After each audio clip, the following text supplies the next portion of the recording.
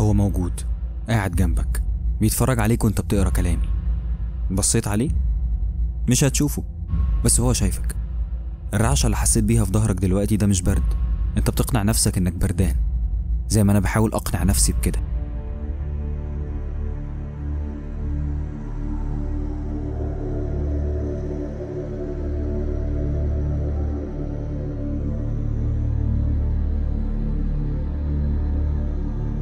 السلام عليكم ورحمة الله وبركاته. أنا محمد خيري ودي قناة الراوي. النهاردة معادنا مع مجموعة قصصية مرعبة وغريبة من سلسلة حكايات العالم الثالث للكاتب محمد سيد علي. والمرة دي الموضوع أكبر شوية لأن القصص دي تم نشرها في كتب وطرحها في معرض الكتاب السنة اللي فاتت وحققت نجاح مبهر. يلا بينا. القصة الأولى.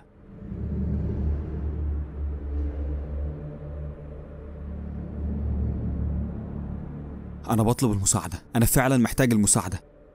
من أربع أيام كنت بنفذ آخر عملية في حياتي وهي إني أسرق الحاجات المطلوبة مني من العميل اللي معايا. أنا سارق محترف. عملي الخاص هو التسلل للمنازل. ما يهمنيش إن كانت الحاجة اللي هجيبها ملك لصاحبها أو لأ.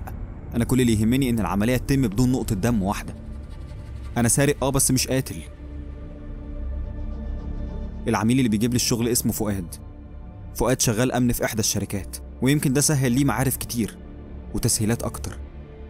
من أسبوع قعدت أنا وفؤاد في المكان المعتاد علشان يديني حسابي بتاع الشهر اللي فات ويديني عمليات الشهر الجديد. ولكن اتفاجئت بيه بيقول لي الشهر ده ما عندناش غير عملية واحدة هتكلف نص مليون دولار. قلت له نص مليون دولار في عملية؟ عملية إيه دي؟ اوعى تكون قطعني وقال لي مش قتل دماغك ما تروحش لبعيد بس أنا معرفش أي تفاصيل. كل المطلوب إنك هتجيب ثلاث شرايط فيديو ودي نمرة الراجل اللي هتتصل بيه كمان ساعة. فؤاد كانت تصرفاته غريبة. بيضحك معايا زيادة عن اللزوم. عزمني على قهوة. فؤاد بخيل جدا. لا ده كمان اداني حسابي كاش بدون تأجيل دفعات للأسبوع اللي بعده. غريبة. مشيت وقررت إني أتصل بالراجل ده. بعد ما سبت فؤاد بنص ساعة اتصلت بيه. كان راجل غريب فعلا. يمكن يكون انطوائي أو راجل كبير في الدولة مش عايز يبين صوته لأنه قال لي جملة واحدة بس. أنا هبعت لك اللوكيشن. بعد ثلاث أيام هتدخل المكان ده. أنا محتاج الثلاث شرايط دول. وزي ما اتفقت على السعر مع فؤاد. ما كنتش مرتاح. نادر قوي لما بيجي لي عميل ما بيتكلمش عن تفاصيل العملية. بس التمن كان مغري جدا. من أربع أيام قررت أروح المكان علشان أنفذ العملية. ال location كان غريب. بيت في منطقة ما فيهاش سكان على الإطلاق. وفؤاد مش معودني على ده في الفترة الأخيرة. رحت البيت كان كبير جدا مكون من دورين. الدور الأول فيه شباك واحد بس. قررت أفك الشباك ده ودخلت بدون أي مجهود. لما دخلت لقيت البيت كبير جدا. أنا عمري ما خفت من الضلمة بس لأول مرة في حياتي كنت عايز أنجز شغلي بسرعة وأمشي علشان أنا ما كنتش مرتاح. وكان قدامي خيارين يبدأ بالدور الأرضي يطلع السلم وأدور فوق. فقررت إني أبدأ بفوق. فتحت الأوضة الأولى. كانت مترتبة ترتيب غريب وكأن في حد عايش في المكان المقطوع ده. الجدران بتاعت الأوضة كانت باللون الأسود. أول مرة أشوف جدران بالذوق ده. فتحت الدولاب علشان أدور لقيت التلات شرايط في وشي. كنت مستغرب. إيه العملية دي؟ إيه السهولة دي؟ بدأت بمكالمة غريبة ومكان مفيهوش حد. نص مليون دولار علشان ألاقي شرايط في دولاب. وهنا بصراحة قررت أدور شوية في البيت ده علشان أعرف أنا فين. كملت تدوير في الدولاب لقيت سبعة آلاف دولار وغوايش وخواتم ذهب. في الأول خمنت إن الدهب بيرجع لزوجة صاحب البيت أو يمكن صاحب البيت أنثى أصلا. بس ما فكرتش كتير. مهمة فؤاد التلات شرايط بس. أي حاجة تانية فهي ملكي. وأكيد أنا مش سارق بالأمانة والشرف يعني. لما خرجت من الأوضة لاحظت الحاجات اللي ما كنتش شايفها في الضلمة. هياكل عظمية الحيوانات في كل مكان. بالإضافة لجلود الثعالب والنمور اللي مفروشين في كل الأرضية. كأنها سجاجيد. أنا عارف إن الأغنياء مجانين جدا بالأنتيكات بس مش للدرجة دي. نزلت الدور الأرضي واللي كان مكون من صالة كبيرة بس اللي مرعب أكتر من جماجم الحيوانات كان جماجم لبشر. كتير. هي دي حقيقية؟ فكرت أمشي بس كانت عيني على مكان بابه مفتوح. كان باب تقريبا لبدروم بتاع البيت. قربت منه ودخلت. واستغربت اللي أنا بعمله. أنا ليه بعمل كل ده؟ ما أروح أسهل. ما أنا خدت اللي أنا جاي هنا علشانه. استغربت أكتر لأن من عادة الناس إنها بتخلي البدروم ده علشان ترمي فيه أي خردة أو حاجات مش عاوزينها. بس البدروم ده كان غريب قوي. البدروم كان مليان لبس الرجاله وستات. والأغرب إن اللبس ده كان متلطخ بالدم. لقيت باب تاني جوه البدروم. كان خارج منه صوت. اتجهت للصوت ده كانت أوضة منورة بالنور الأخضر. فتحت الباب بشويش. لقيت أوضة غريبة قوي أوضة أشبه لعيادة أسنان. يا نهار أسود إيه ده؟ في بنت متسلسلة بالحديد. وأطرافها مقطوعة. لما بصيت لي خفت. أو قبل ما تبص لي أصلا أنا كنت خايف. ما كانتش عارفه تتكلم من اللي محطوط على بقها. بس. بس نظراتها كانت مفهومة. عينيها بتتوسل ليا إني أساعدها. بس بس أنا مش مركز معاها أنا مركز مع حاجة تانية. أ- أنا في بيت قاتل. أنا سارق في بيت قاتل. عقلي اتشتت ما كنتش عارف أعمل إيه. فكرت أدخل وأقول لها إيه اللي بيحصل ده. وفعلا دخلت. بس سمعت خطوات جاية من بره. ما كنتش عارف أستخبى فين. ما لقيتش غير ستارة حمرا استخبيت وراها. سامع وصوله وهو بيفتح الباب. ودخل وكنت سامعه وهو بيعذبها. كنت بترعش وخايف. أنا أول مرة أبقى عاجز كده. استمريت في الوضع ده فوق النص ساعة. لحد ما سمعت آخر صوت خارج من المسكينة اللي كانت متعلقة. وصوته وهو بيضحك كتير والضحك فضل يقرب مني وفجأة سكت. النور اتطفى فضلت أكتر من ساعة في المكان علشان أتأكد إنه مش موجود. أول مرة أحس إني هموت في أي لحظة. بس خرجت. بس خرجت خرجت من البدروم وخرجت من البيت فورا. قررت إني أتصل بفؤاد وأقول له إن أنا مش هشتغل معاه تاني. ده أنا مش بعيد أقتله. ما كانش بيرد عليا. رحت له البيت مراته قالت إنه مش موجود من تلات أيام. هو في إيه؟ رنيت على الراجل اللي كان محتاج الشرايط كان الرقم غير متاح. رجعت البيت وأنا مش عارف إيه اللي بيحصل ده. حرقت سجاير كتير وكنت قاعد متوتر. وفي الآخر اهتديت إن أنا أشوف الشرايط دي. أشوف أشوف اللي أنا كنت بسرقه ده إيه؟ وأنا كنت عمري ما عملت كده. الشريط الأول كان مدته ثلاث ساعات. وكان فيه تمن عمليات قتل. كان بيعرض الضحايا قبل وبعد دخول البيت. الفيديو كان متصور باحترافية عالية. بيراقب الضحية لا وكمان بيقف معاها يكلمها. ويضحك ويقول ما تعرفش هيحصل فيها إيه. لحد ما توصل البيت بالطريقة اللي هو بيختارها. وبعدين يعذبهم ويقتلهم بطريقة بشعة. شفت الشريطين آخر شريط كان باللون الأحمر. كان فيديو لفؤاد. وجايب فؤاد لما دخل الكافيه ولما خرج. وهم راح له المكان. بس فؤاد رايح بمزاجه. وشفت فؤاد وهو بيموت. وبعد ما قتله كتب ورقة وحطها على الشاشة. كان مكتوب فيها. انت دلوقتي حزين علشان صاحبك. بس إيه رأيك لو عرفت ان صاحبك اتفق معايا انك تبقى الضحية الجديدة؟ اتعرفت على فؤاد من فترة ووعدته بنص مليون دولار لو حد جالي بمزاجه من غير مجهود وتعب ودراسة. وقال لي انه عنده الشخص ده. وباعك ليا. باعك للشيطان. وبعد دراسة لفؤاد عرفت انه صاحبك. فكان لازم يتعاقب لاني بكره الخونة. وما تخافش أنا مش بقتل مظلومين الشريط خلص. كنت خايف خايف لأني مش عارف إيه هيحصل لي. خايف لأني ما أعرفش شكل الراجل ده إيه. كل الفيديوهات عاملة على وشه بلور ومش مبيناه. قاعد خايف وقلقان. طب أنا كنت عنده وما قتلنيش ليه؟ وهل كان يعرف بوجودي هناك؟ وبعد ربع ساعة من تفكير الباب خبط. فتحت بحرص علشان ألاقي شريط فيديو وورقة. كان مكتوب في الورقة. أنصحك إنك تشوف الشريط في أسرع وقت ممكن. فكرت أبلغ الشرطة بس هيقولوا جبت الشرايط دي منين؟ خصوصا إن أنا مسجل عندهم وفي بلاغات بالسرقة. ما كنتش عارف أتصرف إزاي بس قررت أشوف الفيديو. فتحته وأنا بترعش. إزاي ده؟ ده أنا. أنا اللي في الفيديو. أنا شايف نفسي بدخل البيت من الشباك. بفكر أطلع فوق ولا أدور تحت؟ أنا طلعت فوق. كنت مستغرب من شكل الأوضة. بفتح الدولاب وباخد الشرايط وأنا مستغرب تاني. وباخد السبعة آلاف دولار والذهب في الشنطة. بطلع من الأوضة وأنا بمسك هياكل الحيوانات. وبعدين بدخل البدروم. بشوف البنت وبحاول أكلمها وبستخبى ورا الستارة. هو بيدخل. إيه ده؟ وشه كان باين. شكله شكله مرعب. ده مش بني آدم. لا. لو بني آدم يبقى بني آدم مشوه. قتل البنت وهو ماسك السكينة. إيه ده؟ هو رايح فين؟ واقف واقف قدام الستارة وبيبص لي وبيضحك. بيضحك جامد. هو هو الضحك ده كان ليا أنا؟ سكت وهو بيبص للكاميرا. نظرته مرعبة. بيكتب حاجة وبيحطها على الكاميرا وهو بيضحك. كان مكتوب. لو رجعت للفيديو لقيتك أخدت التلات شرايط بس ومشيت هيجيلك نص مليون دولار تمن مهمتك واعتبرني خلصتك من صاحبك. أما لو وصلك شريط الفيديو ده يبقى أنت ضحيتي الجديدة لأنك هتكون أخدت حاجة مش ملكك. وكده أنت مش مظلوم.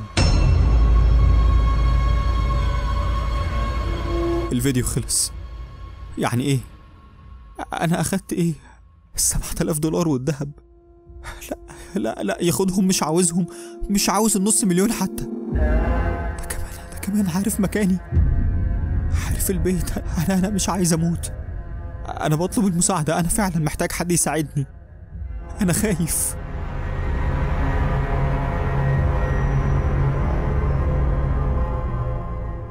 دي كانت قصة من كتاب الغرفة 77 يلا بينا ندخل على القصة التانية.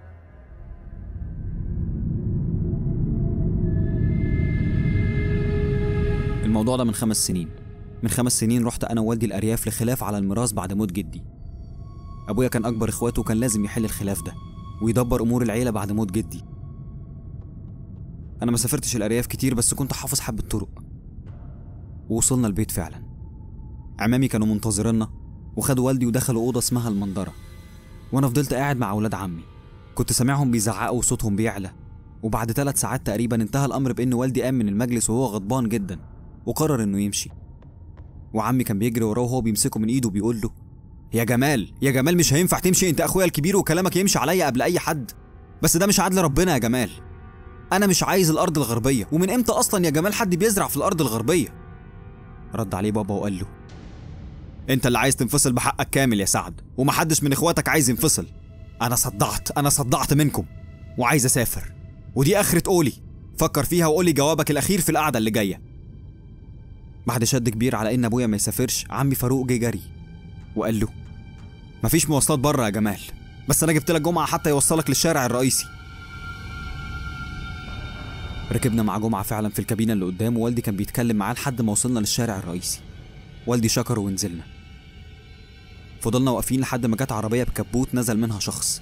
وسألناه العربية دي رايحة الموقف؟ ابتسم الشخص وهو بيهز راسه بالإيجاب. ركبنا العربية بس لاحظنا في نص الطريق إن العربية هتسلك الطريق الغربي. فوالدي رن الجرس للسواق علشان السواق يفرمل فجأة ونزلنا له. السواق كان مستغرب جدا وهو بيقول لوالدي أنت متأكد يا محترم إنك نازل هنا؟ والدي رد وقال له هي العربية دخلت غرب ليه؟ إحنا سألنا اللي كان راكب قال لنا إنها رايحة الموقف. الراجل بص لوالدي باستغراب تاني وقال له راكب مين يا محترم؟ أنتوا أول ناس أركبها من شرق الترعة. أنا أصلا رايح أجرش قلت اخدكم معايا. والدي اخد كلامه بجدية بس أنا كنت خايف. وقال للسواق طيب خلاص إحنا نازلين هنا. رد عليه وقال له والله يا محترم بشوقك بس صدقني مش هتلاقي عربيات هنا. أنا ممكن أرجعك لمطرح ما خدتك كخدمة يعني أحسن ما أسيبك في الحتة الغربية دي. الغريب إن والدي قال له شكرا جدا اتكل على الله. العربية مشيت وأنا اتوترت. والدي اكتفى بالسكات مع صوت أنفاسه اللي طالعة بصوت عالي دليل على عصبيته. كنت حاسس اننا هنمشي طريق الترعة كله على رجلينا. مشينا والطريق كله كان مضلم. ولاحظنا إن في مجموعة من الناس قاعدة على الترعة مولعين حطب. مشينا بتاع حوالي ست دقايق على ما وصلنا لهم. والدي دخل عليهم واتكلم. السلام عليكم. أوصل للموقف من هنا إزاي؟ كانوا بيبصوا لبعض لحد ما واحد فيهم اتكلم وقال يا ريس أنت قدامك الطريق ده كله لحد آخره وهتوصل للموقف. الطريق ده 3 كيلو تقريبا. قطعوا راجل تاني وكانت نظراته ليا غريبة وهو بيقول ده لو وصلوا. لاحظت إن عينيهم فيها لمعة غريبة وحسيت إن والدي كمان شاف كده. علشان كده شدني وقال لي يلا وشكرهم ومشي. كنت بترعش بس مش من البرد من الضلمة اللي في كل مكان. كنت سامع أصوات غريبة وأنا ماشي في الطريق ده. بصيت لوالدي وقلت له هو أنت سامع حاجة؟ والدي ما ردش عليا كان سرحان وبينفخ في سيجارته بغل. كنت عارف بينفخ سيجارته بغل ليه. هو كمان سامع بس بيقنع نفسه إنها تهيؤات. بس أنا أكدتها. الطريق كان ضلمة كحل لدرجة إني ما كنتش شايف والدي بوضوح. وسط ما إحنا ماشيين ظهر حيوان غريب. ما كنتش شايفه ووالدي حس برعشة في إيدي. لقيته بيمسك إيدي جامد وبيقول لي اهدى اهدى ده ديب والديابة بتخاف من النار. ما تتوترش. فضل مولع بولعته حوالينا وكملنا طريقنا لحد ما ظهرت ست غريبة من وسط الزرع. عمري ما شفت والدي خاف قبل كده إلا في اللحظة دي وأنا كمان كنت بتنفض من الخوف. الست اتكلمت وقالت مالك يا جمال يا ابن رؤية؟ خايف من ست عجوزة قد جدتك؟ ما تخافش أنا عايشة هنا في الكوخ ده وعارفة إنك عايز توصل لطريق الموقف. أنت لسه في نص الطريق الغربي. مش عايزة أخوف ابنك الصغير اللي متربي في مصر واحكي له على الطريق الغربي اللي انت اتربيت على حكايته وانت صغير. معرفش إزاي جالك قلب تمشيه في الطريق ده. أبويا رد وقال لها أنت بدرية اللي سكنت الطريق الغربي اللي كانوا بيحكوا لنا عنها؟ يا ما انت فاكر اهو. بس نص الحكايات اللي اتربيت عليها يا جمال غلط. بدرية مش بتخطف ولا بتموت. بدرية بتساعد. اوعى يا ابني تبص وراك لا يجي اوانك. واوعى تنسى حاجة من قطرك لا تفضل تايه هنا للأبد. دي نصيحتي ليك. قالت الكلمتين دول ودخلت الزرع تاني. ما كنتش فاهم بس واضح إن والدي فاهم لأنه شدني ومشينا. والدي شغل ولعته وكملنا الطريق.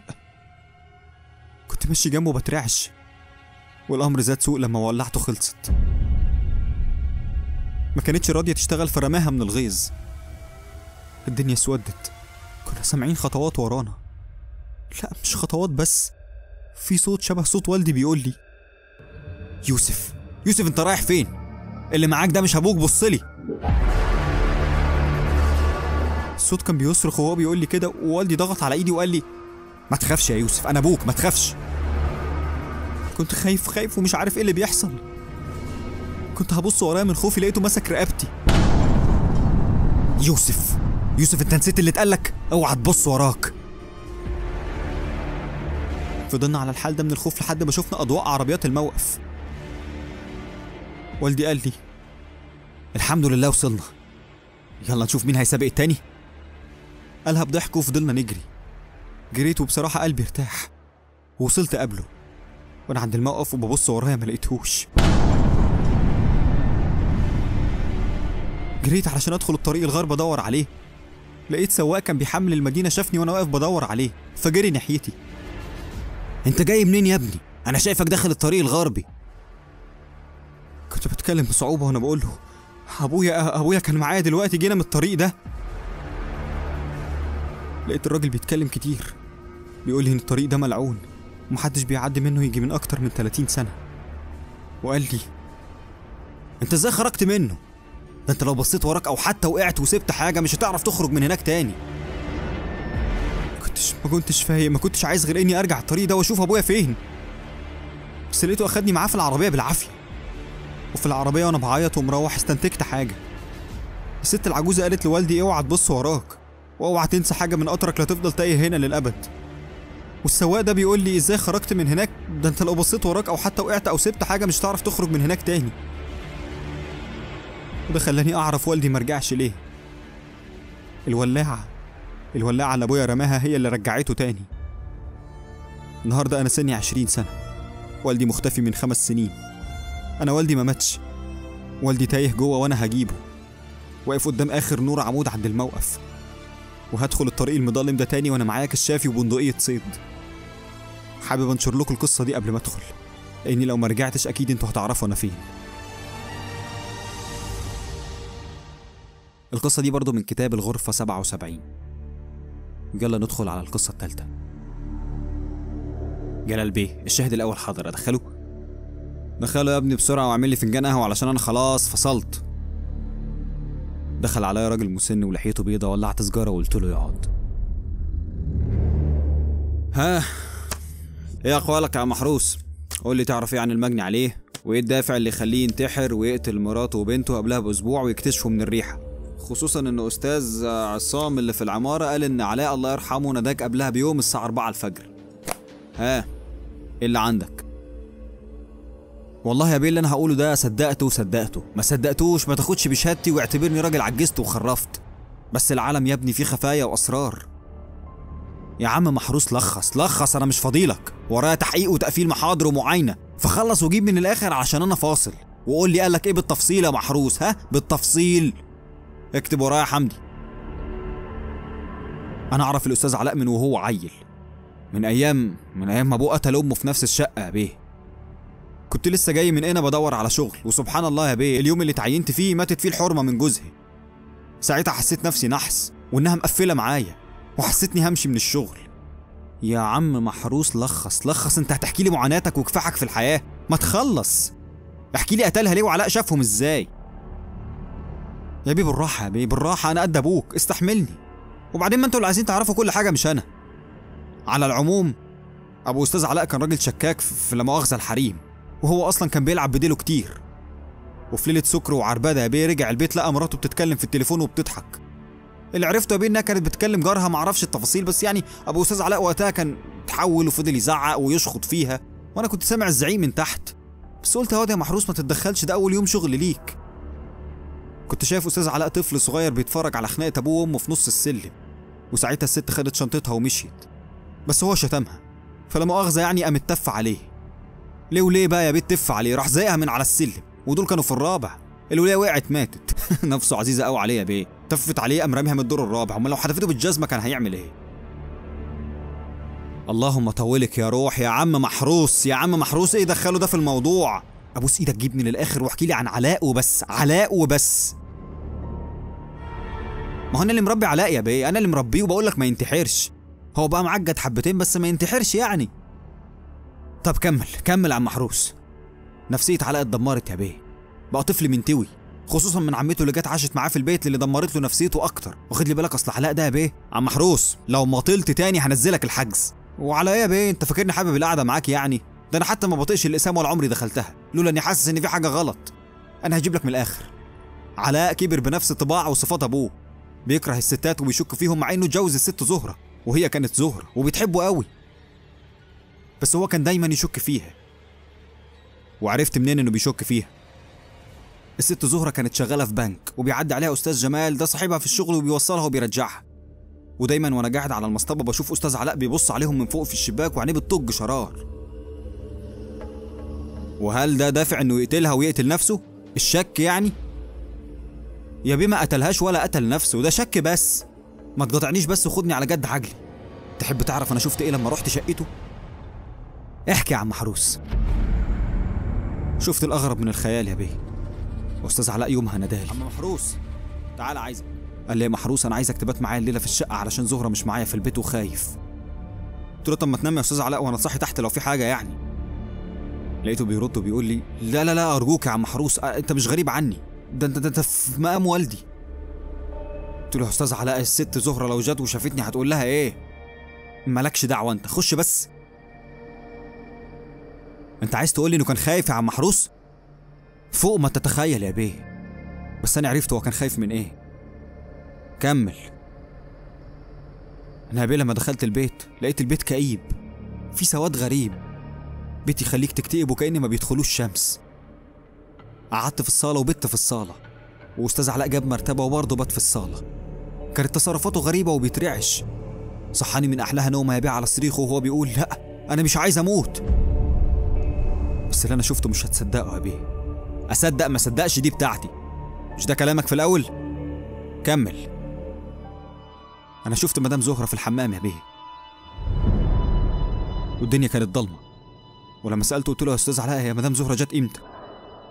قال لي بخوف. انت أنت شفتها؟ أنت شفتها يا عم محروس؟ طب شفت ملك بنتي معاها صح؟ يعني أنا مش مجنون. الكلام ده كان إمتى يا عم محروس؟ أول إمبارح يا بيه. أول إمبارح إزاي؟ إزاي والجثة بتاعت مراته وبنته الطب الشرعي بيقولوا إنهم متوفيين بقالهم أكتر من أسبوع؟ يا بيه أنا بقول لك شفتها. مش كده وبس. أنوار البيت كلها طفت وسمعت أصوات غريبة وبنت صغيرة بتعيط. فسبت البيت ونزلت وكان ساعتها بيقول لي هيقتلوني يا بيه وبرضك نزلت. طب وليه ما جيتش بلغت يا عم محروس أبلغ أقول إيه يا حضرة الظابط راجل مراته عايزة تقتله ولا راجل بيته فيه اللهم احفظنا؟ ثم أنتوا يا بيه ما تعرفوش بالجثث إلا لما هو اتقتل. انتحر. بشوقك يا بيه. شغلتك بقى انتحر اتقتل بتاعتكوا دي مش بتاعتي. تأمرني بحاجة يا بيه؟ لا شكرا يا عم محروس اتفضل انت. ما كنتش مهتم بكلام بواب العمارة قوي ولكنه هيظل شاهد ولازم اسمعه. كان مصمم انه اتقتل من قوة خفية وحاجات خارقة وان مراته كانت عايشة. كلام خرافي بوظ لي دماغي أكتر ما كانت بايظة. طلبت قهوة تانية واستدعيت الشاهد التاني دكتور فؤاد وده كان الطبيب النفسي بتاع المجني عليه. إزيك يا دكتور؟ تمام الحمد لله بخير. ها بقى عايز أعرف كل حاجة خاصة بالمريض اللي كان عندك رحمة الله عليه. بس بس دي أسرار مرضى وما ينفعش. آه هنبدأ بقى. هنبدأ أسرار مرضى وأخلاق مهنة وشرف الطب. يا دكتور يا دكتور ده مات وزمانه بيتحاسب. إحنا بقى اللي عايزين نحاسب علشان نشوف شغلنا. خلص وحات والدك وقول لي كل حاجة. وكل حاجة لأن كل حاجة هتفيدنا. مش ممكن يكون اتقتل. لا هو الحقيقة ما اتقتلش أمال إيه؟ انتحر. جميل كلام علمي وسليم وموافقك فيه. ليه بقى؟ علشان قتل.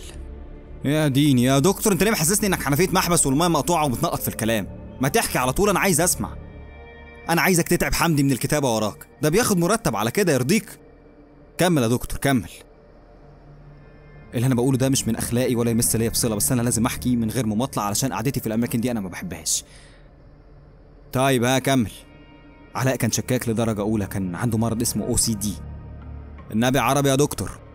كان عنده وسواس قهري بالإضافة للهلاوس السمعية والبصرية. عنده شيزوفرينيا حادة وده بيخلق حالة من وجود خلاه يشوف ناس مش موجودة أصلا. كان واصل لمرحلة خطر وكان وجوده في المنزل فيه خطورة. بس للأسف هو جالي من شهر وقال لي إنه قتل مراته وبنته. شهر. أيوه يا فندم شهر ودفنهم في المقطم. في مقطم إيه؟ انت ما تعرفش يا دكتور ان الجثث كانت في الشقة وعلى السرير عادي كمان وإن الطب الشرعي قال إنها من أسبوع بس. في الحقيقة أنا عارف إنكم لقيتوهم في الشقة ومن التطور اللي بيحصل في حالة علاء أقدر أقول إنه عاش في خياله لدرجة إنه ما بقاش مفرق ما بين الحقيقة والخيال. وبين إنه كان دايما يقول لي إنه لحد دلوقتي بيشوف أمه وأبوه إنهم لسه عايشين. ومن أسبوع كمل يا دكتور ومن أسبوع إيه؟ من أسبوع رحت البيت عنده لأنه ما بقاش يجي العيادة. ولما رحت له ما افتكرنيش خالص. وقال لي أنت مين؟ حاولت أعرفه بنفسي وأفكره لأني عارف حالته بس شفت بنت صغيرة بتبص لي من الأوضة. سألته مين دي ابتسم ابتسامة غريبة وقفل الباب في وشي. جاب بنت تانية يعني ولا إيه؟ فهمني.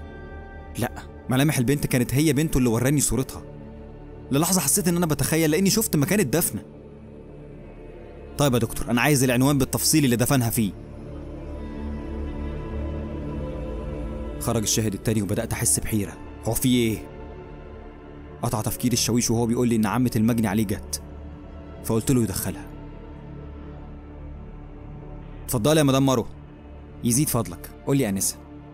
أنا مش عارفة أنا جاية ليه بس يمكن يفيد. كل حاجة هتفيد يا مدام مروة. آه آسف يا أنسة مروة. سيجارة؟ يا ريت. علاء كان دايما طفل مشوش. أنا ياما قسيت عليه. ياما حسسته إنه خلاص بقى وحيد ولازم يعتمد على نفسه. القسوة دي كانت نتاج عن كرهي لسامح أخويا. كنت بعاقب على ابنه اللي ملهوش ذنب فيه. كنت دايما شايفة نفسي عروسة بس من بعد ما بابا مات وأنا بقيت وحيدة. سامح مهتمش غير بنفسه وآخر كلمة قلتها له قبل ما يتعدم. الدنيا خلتني أنا أبقى وصية على ابنك. تخيل أنا هعمل فيه إيه؟ كان خايف ومتوتر وفضل يزعق. كنت دايما بعذب علاء وأشوهه نفسيا أكتر. كان دايما يقفل عليه أوضته ويجيب صور لأمه وأبوه القديمة ويقعد يتفرج عليهم. لحد ما وأنا بروق البيت في مرة لقيته جايب لوحة خشبية غريبة ولما سألت عليها عرفت إنها حاجة اسمها ويجا. ومن بعدها كل حاجة اتغيرت. إزاي؟ كل حاجة اتغيرت إزاي؟ بقيت أسمع أصوات غريبة وأحيانا علاء ما بيعرفنيش. أحيانا بحس إن في اتنين علاء مش علاء واحد. آه طيب. شكرا جدا يا أستاذة مروة. شكرا. حضرتك مش عايزني أكمل؟ شكرا يا أستاذة مروة اتفضلي. شكرا. الحقيقة أنا نهيت الحوار معاها بسخافة خصوصا إن أنا مش مؤمن بالكلام ده نهائي. قفلت المحضر ومشيت. بس في حاجة بتقولي ما تروح المكان اللي قال عليه الدكتور. وفعلا رحت. واللي شفته إن فعلا كان في قبرين منبوشين. وفي الأرض وفي قلب الحفرة لقيت صورة بتجمع علاء ببنته ومراته. عقلي مقتنع إن علاء قتل مراته وبنته علشان حس بشك وانتحر. بس قلبي رافض. رحت الشقة بتاعت علاء تاني وقلت لصاحب العمارة إني لازم أقعد فيها أخلص الإجراءات. ودخلت أتمشى في الشقة. لقيت في ركن في أوضة لحويجة اللي قالت عليه عمة علاء. قربت منها وأنا عارفها كويس وعارف استخدامها وأسطورة إنك بتكلم الأرواح من خلالها. بس الغريب إن ظهر الويجا كان عليه دم. مسكت الزهر وحطيته على الويجا. علشان ألاقي الزهر بيتحرك وبيكون جملة. أكتر من جملة. أنا ما انتحرتش. هما اللي قتلوني. اطلع بره بيتي بسرعة. النور اتطفى سمعت صرخة من أوضة علاء. كنت بكسر الباب علشان أخرج. وفعلا خرجت. والنور رجع تاني جوه الشقة. وطلع لي محروس من تحت. الباب اللي كان مفتوح اتقفل لوحده. بس قبل ما يتقفل لمحت بنت صغيرة وعلاء وزهرة واقفين بيبتسموا من الأوضة. بصيت لعم محروس وكنت بسأله بعيني. لكنه ابتسم وقال لي صدقت يا بيه صدقت إن العالم فيه خفايا وأسرار.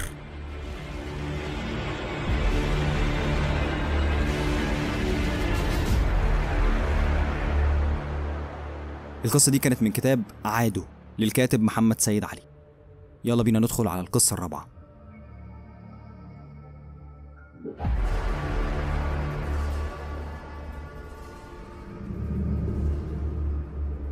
هو موجود.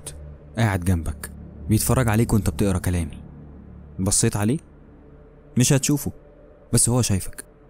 الرعشة اللي حسيت بيها في ظهرك دلوقتي ده مش برد. انت بتقنع نفسك انك بردان. زي ما أنا بحاول اقنع نفسي بكده. سامع صوتك جوه نفسك دلوقتي وبتقول ده كداب مش كده؟ ده مش انت. انت فاكر ان ده انت بس هو بيقدر يطابق صوتك جوه نفسك. بيقدر يسيطر على جزء من مخك وظيفته تصرفاتك وردود أفعالك. فاكر انك لو مت هو هيموت؟ ده بيعيش بعديك بمئات السنين. أنا آسف أنا آسف إني هشقلب حياتك بس أنا عايز أخرج من هنا. أرجوك خرجني من هنا. أنا آدم منصور عايش برا مصر محاسب في شركة كبيرة لا داعي لذكر اسمها ولا اسم البلد. خلصت جرد في الشركة في وقت متأخر جدا وركبت عربيتي واتجهت للمنزل. سلكت الطريق السريع علشان أنجز ولكن لسوء الحظ العربية عطلت. اكتشفت إن البطارية نامت وعلشان تتشحن على بعد 40 كيلو وده صعب جدا. لمحت بعيني بنسيون قديم شوية فكرت كتير قبل ما أدخل وبات فيه ولكن الجو كان تلج والعاصفة كانت شديدة. علشان كده قررت أدخل أبات ولو ليلة واحدة بس. دخلت البنسيون لقيت شخص عجوز قاعد على كرسي متحرك. مساء الخير. أنا محتاج غرفة الليلة واحدة بس. الغريب إنه ابتسم واداني مفتاح متعلق عليه ورقة مكتوب فيها غرفة رقم تسعة. وما طلبش مني أي أوراق شخصية. كان وضع غريب جدا عادة على الأقل صورة بطاقة شخصية علشان أحجز. ولكني ما اهتمتش أصلا لأني هبات ليلة واحدة بس. أخدت المفتاح وطلعت الغرفة. المكان قديم قوي تقريبا اتبنى أيام الحرب العالمية الأولى. ديكورات قديمة جدا ولكنها شكلها شيك. وأنا بغير لاحظت كتاب كان محطوط على الترابيزة اللي جنب السرير الكتاب على فكرة بدأ بالسطور اللي أنا قلتها فوق دي مش هكدب أنا خفت خفت أقلب الصفحة ونزلت بالكتاب للراجل القعيدي اللي في الريسبشن علشان ألاقي حاجة عمري ما كنت أتوقعها لقيت هيكل عظمي قاعد على الكرسي خيوط العنكبوت ملياه أنا فين؟ إيه ده؟ إزاي؟ قربت من الهيكل كان قدامه دفتر مطرب. شكله ما اتفتحش من سنين. وقلم جاف. ومكتوب اسم أو اسمين. كريستين جونز وألفريد بيري.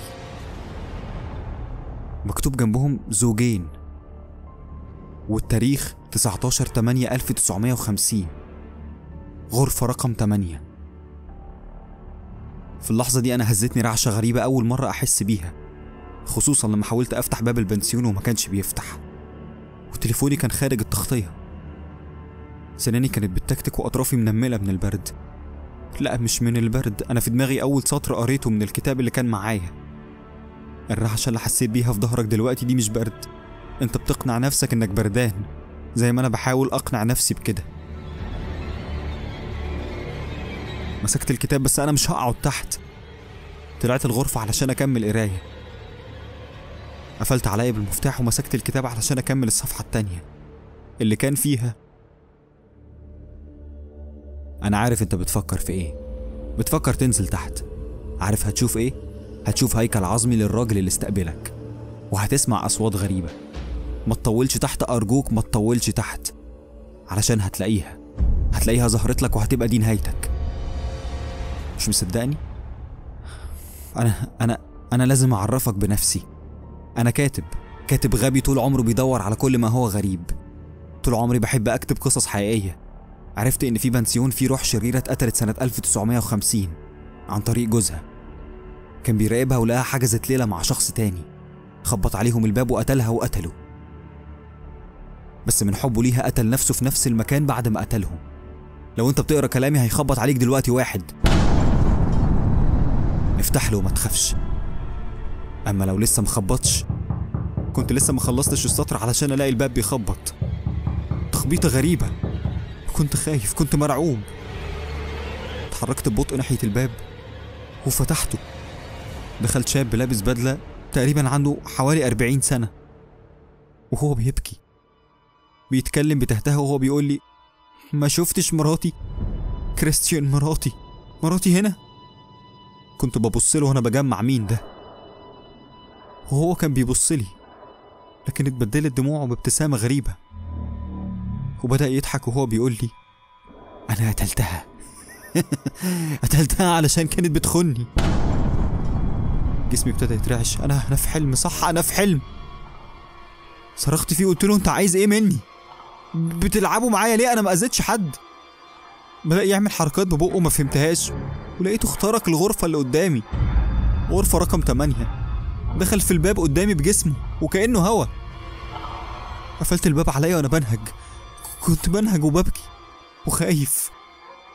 مسكت الكتاب وأنا خايف علشان أكمل قراية علشان أخلص من اللي أنا فيه ده. أما لو لسه ما خبطش فكمل قراية بس أعتقد إنه هيخبط عليك دلوقتي. قلبت الصفحة.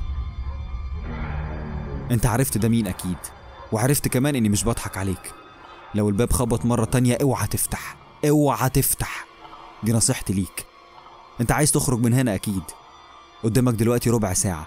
ربع ساعة تنزل تدور على مفتاح رقم 8 حاول تلاقيه. دور في كل مكان. لو لقيته خرج الهياكل دي من الغرفة حاول تدفنها. دفنة كريمة تليق بيها. مجرد ما تنزل بالهياكل دي على السلم باب البنسيون هيتفتح. أتمنى لك التوفيق. وانزل ما تكملش قراية. الفضول كان بيقول لي كمل قراية بس بس نزلت. دورت في كل مكان ما لقيتش. سمعت الأصوات المرعبة اللي كان بيقول لي عليها. كنت خايف.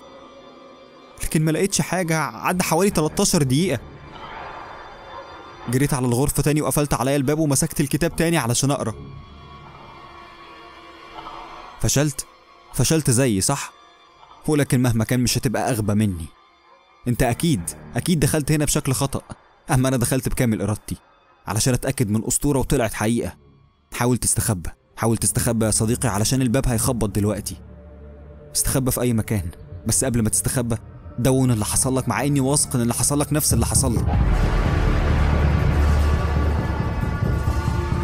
الباب خبط فعلا. الخبط كان بيزيد وما كنتش عارف أستخبى فين. نزلت تحت السرير علشان ألاقي هيكل عظمي ببدلة وبرنيطه قديمة. منكمش على نفسه. نمت جنبه وأنا بترعش حطيت ايدي في جيبه ومعرفش إزاي عملت كده. علشان الاقي بطاقة تعريفية قديمة مكتوب فيها فرانك إدوارد. كنت عارف مين ده كويس. ده كان كاتبي المفضل وأنا صغير. ما كنتش عارف ليه بطل كتابة. كنت بستمتع بقصصه المخيفة. وظل اختفائه سر بالنسبة لي. وبالنسبة لناس كتير. بس الباب الباب اتكسر.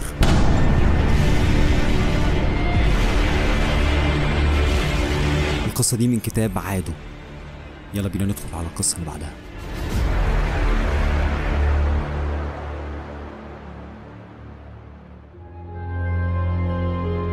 سافرت بره الأرياف علشان أكمل تعليمي في الجامعة الجامعة اللي ما قدرتش أكمل فيها بعد الوقعة اللي دمرت لي حياتي. كنت داخل الكلية وكنت ناوي أقعد في السكن الطلابي نظرا لمجموعي الكبير في الثانوية. المدير إداني أوضة في الدور الأخير وقال لي واضح إنك محظوظ قوي يا وليد ومن حظك إن الأوضة دي بتساع اتنين بس أنت وزميلك الجديد ولكن الغرفة هتحتاج منكم شوية تنظيف. سنة دراسية سعيدة عليكم. قال لي الكلمتين دول وودعني. أخدت المفتاح ودخلت الأوضة. أول ما دخلت لقيت كمية تراب رهيبة. كانت الأوضة مكركبة ومش مظبوطة. وحسيت إن أنا فعلا هعاني وهتعب جدا في تنظيف الأوضة. بس بعد لحظات من دخولها لقيت زميلي التاني بيدخل ورايا. واضح إن ده شريكي الجديد في الأوضة. ابتسم لي وقال لي شكلنا هنتعب جدا. قلت له مش مهم أنا وليد وأنت؟ يوسف يوسف حسين. سلمت عليه وروقنا الأوضة لحد الساعة 11 بالليل. كان يوم مرهق جدا. أخدت دش ودخلت على سريري وطفيت النور. وقلت له أنا آسف يا يوسف بس أنا جاي من سفر بعيد ومحتاج أنام. هز دماغه وما كلمنيش وفضل يبص لي كتير. وبعدها مسك كتاب وقعد يقرأ فيه. مركزتش معاه لأني كنت فعلا محتاج أنام. كنت تعبان فعلا. ولكن بعد ما رحت في النوم لقيته بيخبط على كتفي وبيقول لي وليد ما تيجي ننزل دلوقتي حالا. بصيت في الساعة لقيتها تلاتة إلا ربع الصبح. قلت له يوسف مع احترامي ليك يعني أنت مصحيني الساعة 3 إلا علشان تقول لي يلا ننزل. مش عايز أبقى سخيف معاك ولكن ده اسمه قلة ذوق. ما ردش عليا ورجع لسريره تاني وقفلت النور. صحيت متأخر ما لقيتش يوسف في الأوضة. أكيد اتحرج يصحيني بعد اللي قلته امبارح. رحت محاضراتي ورجعت الساعة خمسة مساء ما لقيتش يوسف برضه. دخلت الحمام علشان آخد دش ولقيت حد بيقفل باب الأوضة وراه. خمنت إن يوسف جه. ولما خرجت لقيته هو. كان يوسف. لسه زي ما هو قاعد ماسك الكتاب بنظراته الغريبة وبيراقبني. سلمت عليه وقلت له إزيك يا يوسف؟ عامل إيه؟ هز دماغه وابتسم. كلامه قليل جدا. قعدت على سريري ومسكت موبايلي عينه ما اتشالتش من عليا. كنت براقبه بطرف عيني لدرجة إني زهقت وبصيت في الساعة لقيتها عشرة بالليل. فبصيت عليه وقلت له أنا هنام يا يوسف تصبح على خير. كان بيبص لي بدون رياكشنات وهو بيقول لي وليد تعالى معايا ننزل دلوقتي. في الحقيقة أنا اجتماعي جدا بس الشخصية دي غريبة فلقيت نفسي بتعصب وبقول له يا عم انت إحنا مش صحاب. وشايفك واخدك العشم قوي. في إيه؟ نظراته بقت حادة وغامضة ولقيته بيقفل النور. حسيت ان عنده مشكلة نفسية وان اللي عملته ده ما يصحش. ممكن يكون عايز يحكي مشكلة مضايقاه. ففتحت النور تاني قلت له يوسف أنا آسف. بس أنا مستغربك لو عايز تحكي أي حاجة أنا سامعك. وممكن نحل لو عايز تفضفض. فلقيته بيرد. لا أنا عايز أنزل تحت بس. كان جواب غريب. فكرت كتير أنزل ولا لأ بس لقيت نفسي بقفل النور وبشد الغطا وبنام. صحيت لقيته قاعد نفس قعدة امبارح. بيبص لي بنفس النظرات وهو على سريره اللي قدام سريري. مركزتش كتير وقلت له صباح الخير يا يوسف. ما ردش عليا. بيراقبني بعينه بس. دخلت آخد دش وقررت إن أنا اصالحه لما أخرج. أنا آسف يا يوسف وحقك عليا وادي دماغك أبوسها يا عم. وكمان أنا يشرفني نكون صحاب. طلعت الموبايل وفتحت الكاميرا واخدنا صورة. ونزلت المحاضرة بس هو قال إن هو مش هينزل.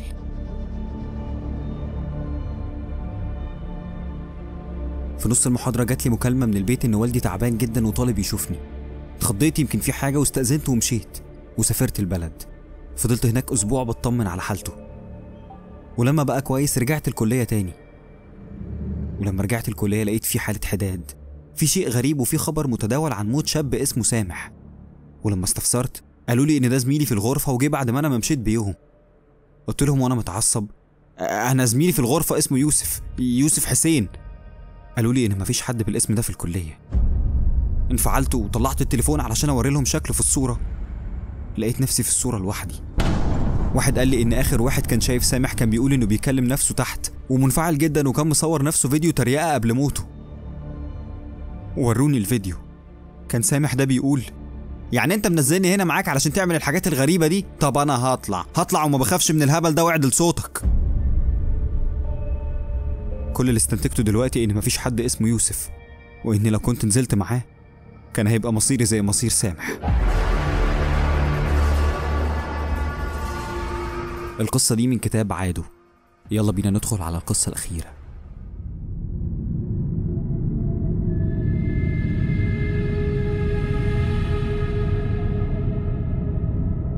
كنت شغال في شركة تبع أعمال البنى من أيام قليلة جدا جه كاهن وقال إنه محتاج يعمل بعض التجديدات في كنيسة قديمة. اتكفلنا بالمهمة من المهندس واستلمنا الشغل. لكن وإحنا بنهدم لقينا فتحة في الجدار الخلفي بتاع الكنيسة. الفتحة دي كانت بتوديك لمدخل صغير ومش متصل بالكنيسة خالص. زي ما تقول كده كان مقصود إن النفق الصغير ده ما يبانش وإنه يتعزل عن المبنى كله. دخلت أنا والعمال على أضواء الكشافات لاحظنا حاجة غريبة قوي صندوق أسود خشبي طوله مترين وقديم جدا. كمان الخشب رطب قوي وفاسد بالإضافة كمان لكلام غريب مكتوب على جانب الصندوق. واضح كمان إن الكلام اللي كان مكتوب كان قديم لأنه بدأ يتلاشى. ثبتنا الصندوق بإحكام وما كانش فيه أي نية لفتحه نهائي. ولما وصل المهندس حكيت له على اللي شفناه وطلب مني أتصل بالكاهن. ألو مساء الخير.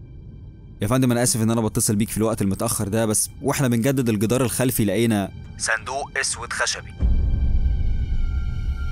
فضلت صامت لفترة طويلة أنا أنا ما قلتلوش حاجة. وبعدها قلت أيوة يا فندم. أنا هاجي أتعامل معاه بس من فضلكم خلوه في مكان آمن ومحدش يفتحه ومحدش يقرب منه. في الحقيقة كلامه قلقني جدا وخلاني أتوتر. خدت الصندوق الكبير مع اتنين من العمال وحطيته في زاوية داخل الكنيسة. خصوصا إن الكنيسة دلوقتي محدش بيدخلها فده مكان آمن جدا. شلت كل الحاجات الخاصة بيا وروحت. وفي منتصف الليل المدير اتصل بيا. فرديت عليه. ألو؟ ألو في مشكلة كبيرة. تعالى دلوقتي حالا. مشكلة إيه يا فندم؟ الحارس بتاع ورديه بالليل. لقوه قاطع النفس على الطريق والشرطة بتقول إن علامات الذعر واضحة على وشه. لبست وجريت للكنيسة علشان ألاقي زمايلي واقفين مع الكاهن بتاع الكنيسة. وقدامهم الصندوق مفتوح والكاهن بيقول أنا حذرتكم. قلت لكم بلاش بلاش حد يقرب منه بلاش حد يفتحه. هو دلوقتي قريب قريب مننا. أنتوا وديتوا الحارس ده المستشفى مع إني واثق إن الوقت فات. ولعت سجارة وأنا ببص له وهو بيتكلم وبدأت أتمشى ناحية الصندوق. اتصدمت لما لقيت الصندوق جواه جثة جثة مشوهة. مش جثة إنسان لأ مفيش إنسان بالشكل ده. مفيش إنسان ليه راسين وليه أربع أذرع وأربع أقدام. في اللحظة دي بدأت فعلا أترعب. زملائي في العمل كانوا متوترين وخايفين. الكاهن كان ماسك ماء مقدس وعمال يرش وبيقول كلام بقراءة لاتينية. كنا بنتناقش نبلغ الشرطة ولا لأ لكن الكاهن كان متوتر حتى ما بصش علينا وهو بيشيل الصندوق وبيحطه في العربية. بس قال لنا أنا آسف. آسف ليكوا كلكوا وبشكركوا جدا. قالها ومشي وخلانا كلنا في حيرة. في اليوم التالي عرفنا إن الحارس مات بنوبة قلبية بالرغم إنه في أوائل التلاتينات.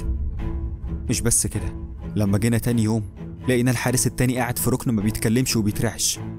كان رافض يتكلم مع أي حد. وبدأ يصرخ. محدش بقى عايز يشتغل في الكنيسة لسبب أكبر وهو إن بعض من زمايلي اتصابوا بمرض غريب ونادر. بالرغم إنهم كانوا مشوا من منطقة الكنيسة أصلا.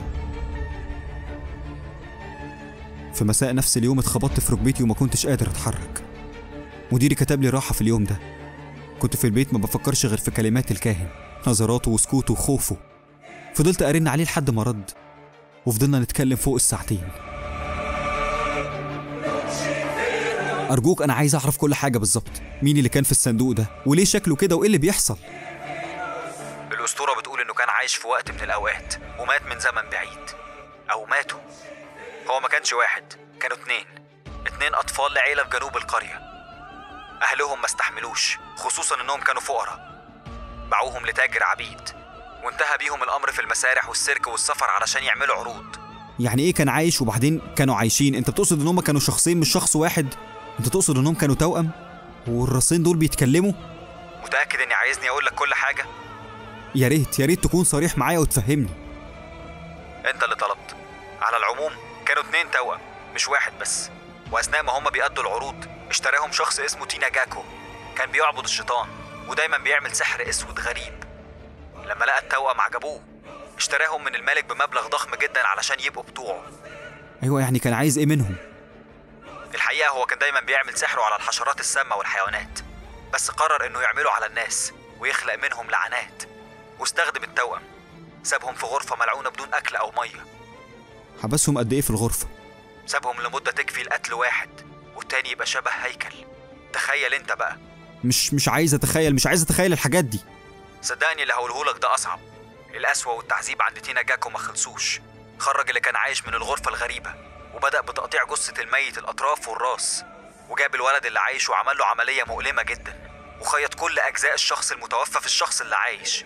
علشان ينتج الكائن ده. الراجل ده عمل إيه؟ مع قراءة التعويذة المفقودة على الجسم قدر يصنع ملك موت خاص بيه. مش فاهم. الكائن اللي كان معاه حصد أرواح مئات من البشر في القرية بقى يقدر يقول له المستقبل والحاضر بقى في إيده قوة مهولة. مع كل روح كانت بتتاخد كان بيزيد قوة الكائن ده. بس تينا جاكو ما استكفاش. قرأ عليه تعويذة تانية ساعتها الكائن ده اختفى وما بقالوش أثر. وبعدها تينا جاكو مات في قصره محروق. واتبنى على قصره كنيسة طب إزاي بتقول إن الكائن ده اختفى وإحنا لقينا جثته؟ والكنيسة دي اللي إحنا كنا فيها صح؟ مش كل الأساطير دايما صح ومش لازم تصدقها كلها. زي ما أنا عملت. عمري ما صدقت إن الكائن ده اختفى. الكائن كان محبوس وبفضلكم أنتم أنا لقيته. الكائن دلوقتي معايا أنا. والكلمات اللاتينية اللي أنت سمعتها دي كانت التعويذة للمكان كله. معناها باختصار إن كل اللي حضر وشاف هيموت. يعني إيه؟ كلكم هتموتوا ورا بعض. كل اللي ساهم في ظهوره للأرض تاني هيقضى عليه. أنا هوديك في ستين داهية. مين هيصدقك؟ مين هيصدقك وانت خلاص أيامك معدودة؟ ركبت عربيتي وجريت على اسم الشرطة علشان أبلغ بأقوالي. لكن بدوس فرامل مفيش أنا ماشي على طريق سريع بسرعة 120 كيلو. أكيد هموت. بس أنا بسجل الريكورد ده علشان أقول إنه ما كانش قضاء وقدر. بسبب الصندوق الأسود. طيب أنا ما كنتش أتخيل إن الاختراع اللي أنا شاركت فيه أنا و200 مهندس قادر إن هو يدمر البشرية في ظرف 8 سنين بس. ما كنتش أتخيل إن المشروع ده هتبقى نتيجته مرعبة بالشكل ده. لأول مرة أكون مستغرب نفسي وأنا بقول مستوحاة عن قصة حقيقية. هي مستوحاة عن قصة حقيقية. بس مين بقى فكر يكتبها؟ الكاتب محمد سيد علي. ويلا بينا نبدأ. أنا محمد خيري وده برنامج الراوي. الجيل السادس أو المعروف دلوقتي بالواقع البديل. الفكرة بدأت لما ظهرت شركة جديدة اسمها ميتافيرس واللي بيتلخص معناها في ما وراء الكون. المشروع كان هدفه باختصار شديد جدا إنه يصنع عالم افتراضي ثلاثي الأبعاد. والعالم ده هيبقى محاكي للواقع بشكل أعمق ويكون أفضل. وكان تبرير المشروع ده هو كثرة البشر وقلة الموارد وتسمى البرنامج بالواقع البديل. لما ظهرت الفكرة دي اتقدم أكتر من 5000 مهندس من كل أنحاء العالم. اتحطينا تحت اختبارات صعبة من تحليل نفسي وفك رموز وشفرات علشان تتم التصفية على 200 مهندس بس. كنت أنا المهندس العربي الوحيد اللي اختاروه مع إني ما كنتش أكفأ شخص ولكن تم التصفية واتقبلت فعلا. ساعتها مر وقت قليل وعملوا معايا مقابلة. لما قعدت مع الشخص المعني إن هو يقابلني قال لي الآتي هل تعرف أنت تم اختيارك ليه يا بلال؟ مع إن في كتير أفضل منك؟ قلت له لا معرفش رد وقال لي امم في الحقيقة يا بلال أنت أكتر شخص من اللي متقدمين محتاج الواقع البديل. قلت له اشمعنى يعني؟ خليني أقولها لك ببساطة شديدة جدا. لأنك يا بلال في الواقع البديل هتقدر تشوف فرح وعصام تاني. لما قال لي الجملة دي اتفزعت. دموعي نزلت وما قدرتش أمسك نفسي. وساعتها مر في دماغي فلاش باك قديم. فلاش باك للحادثة. الحادثة اللي أنا قتلت فيها مراتي وابني. أنا اللي كنت بسوق بتهور وعلشان كده حصلت الحادثة. القدر عاقبني إنهم ماتوا وأنا بس اللي عشت. عشت بس علشان أتعذب. خرجني من الحالة اللي كنت فيها دي وهو بيقول لي لا لا يا بلال أنا مش بقولك كده علشان دموعك تنزل. أنا بقولك كده علشان يبقى حافز ليك. ابنك ومراتك هتقدر تعملهم تاني بنفس أفكارهم بنفس طباعهم. كل ده عن طريق الذكاء الاصطناعي. أكيد أنت فاهم. هتقدر تاخدهم في حضنك. هتقدر تعيش كل لحظة اختفوا فيها من حياتك وتشوفهم تاني يا بلال. وفي الحقيقة مش أنت بس. ده كل شخص في العالم. أي حد فقد حد بيحبه هيلاقيه في الواقع البديل. بعد كلام كتير منه كان دافع ليا وباور رهيب جدا إني أنفذ كل اللي مطلوب مني. وكل اللي الشركة طالباه. وده في سبيل إني أشوف اللي هو بيقوله ده بيتحقق. هل فعلا هقدر أحضن مراتي وابني تاني؟ هل هقدر أعيش معاهم تاني؟ أتمنى. كل شخص من المهندسين كان ليه دور في البرمجة والتصميم. الغريب إننا اتفرقنا أقسام. وكان الغريب فعلا إن محدش عارف كل قسم مختص بإيه. وكانوا مشددين جدا على إنه مفيش مهندس يقدر يتعامل مع مهندس في قسم تاني. ممنوع الكلام بينهم نهائي. القسم بتاعي ما كانش ليه علاقة بالأرض داخل الواقع البديل بس كان ليه علاقة بنظام الجو والظواهر الخارجية بتاعت الجو الشمس الشتاء الرعد الحاجات دي. بعد سنة وشهرين تقريبا انتهت النسخة التجريبية من المشروع واللي كانت مختصرة على موظفين الشركة والمهندسين بس. عبارة عن application بتنزله على موبايلك أو اللابتوب بتاعك وبتلبس قناع متوصل بال application ده. وفعلا أول ما انتهت النسخة التجريبية بدأنا نسجل حسابات خاصة بينا على ال application دلوقتي أقدر أقول إنه في الواقع البديل مفيش عيوب خلقية. كل اللي عليك بس إن أنت تحط صورة ليك في الحساب وهتتحول على طول بشكلك جوه الميتا. كمان لو أنت مش حابب حاجة في هيئتك تقدر تغيرها تغير أي حاجة في مظهرك أو شكلك. تقدر تعمل ده بكل سهولة ولكن بشرط واحد بس إنه ممنوع يتغير للأبد. يعني بعد ما تعمل التغيير ما تقدرش تعدل عليه تاني. فعلا عملت حساب واتضافت شخصية بنفس شكلي. نفس الملامح نفس أبعاد الجسم كل حاجة. الموضوع كان مدهش جدا لما حطيت القناع أو النضارة اللي بنشوف منها الواقع البديل. الواقع البديل ما كانش يختلف كتير عن الواقع بتاعنا. بالعكس ده كان أحسن من واقعنا بمراحل. الشيء الغريب فعلا اللي لاحظته من ساعة ما لبست القناع هو إني قادر أشم الزهور في الواقع البديل. قادر أحس بطعم التفاحة اللي قطفتها من الشجرة جوه البرنامج. الموضوع كان حقيقي جدا. حقيقي بدرجة مبهرة. انتهت التجربة وكنا كلنا في حالة ذهول من اللي شفناه. قلعت القناع وأنا مندهش مش مصدق. لقيت رئيس القسم اللي عمل معايا مقابلة قبل كده بيقول لي قبل ما أخرج بلال لو سمحت عايزك. رحت المكتب علشان أقعد قدامه ولاقيه بيلبس القناع بتاعه وبيقول لي ألبس القناع بتاعي. في الأول كنت مستغرب علشان أنا لسه خارج زي زي بقية المهندسين من الواقع البديل بتاعنا. لبست القناع دخلت الواقع البديل تاني والمرة دي لقيته واقف جنبي في الواقع البديل بشخصيته اللي هو صممها وبيقول لي إيه رأيك في الفيلا دي؟ رديت قلت له جميلة جدا. كان قدامي فيلا كده شكلها حلو جدا. قلت له حلوة جدا. ده إيه ده؟ رد وقال لي الفيلا دي بتاعتك. هتلاقي جوه في مفاجأة خاصة بيك. اشتغلت عليها بنفسي وبرمجت ذكائها الاصطناعي بنفسي ودي مكافأة ليك. وسابني ورجع خطوتين لورا وأنا اتقدمت ودخلت من باب الفيلا. أول ما فتحت الباب لقيت فرح وعصام قاعدين على كنبة في صالة كبيرة. اتفاجئت وقعت المفاتيح من إيدي. كانوا هما بالظبط. عصام بيجري عليا وهو بيقول لي وحشتني قوي يا بابا. أما فرح كانت بتعيط. كانت بتعيط وهي بتبص لي بدموع الفرحة. قربت منها وأنا بلمس شعرها وأنا في حالة ذهول.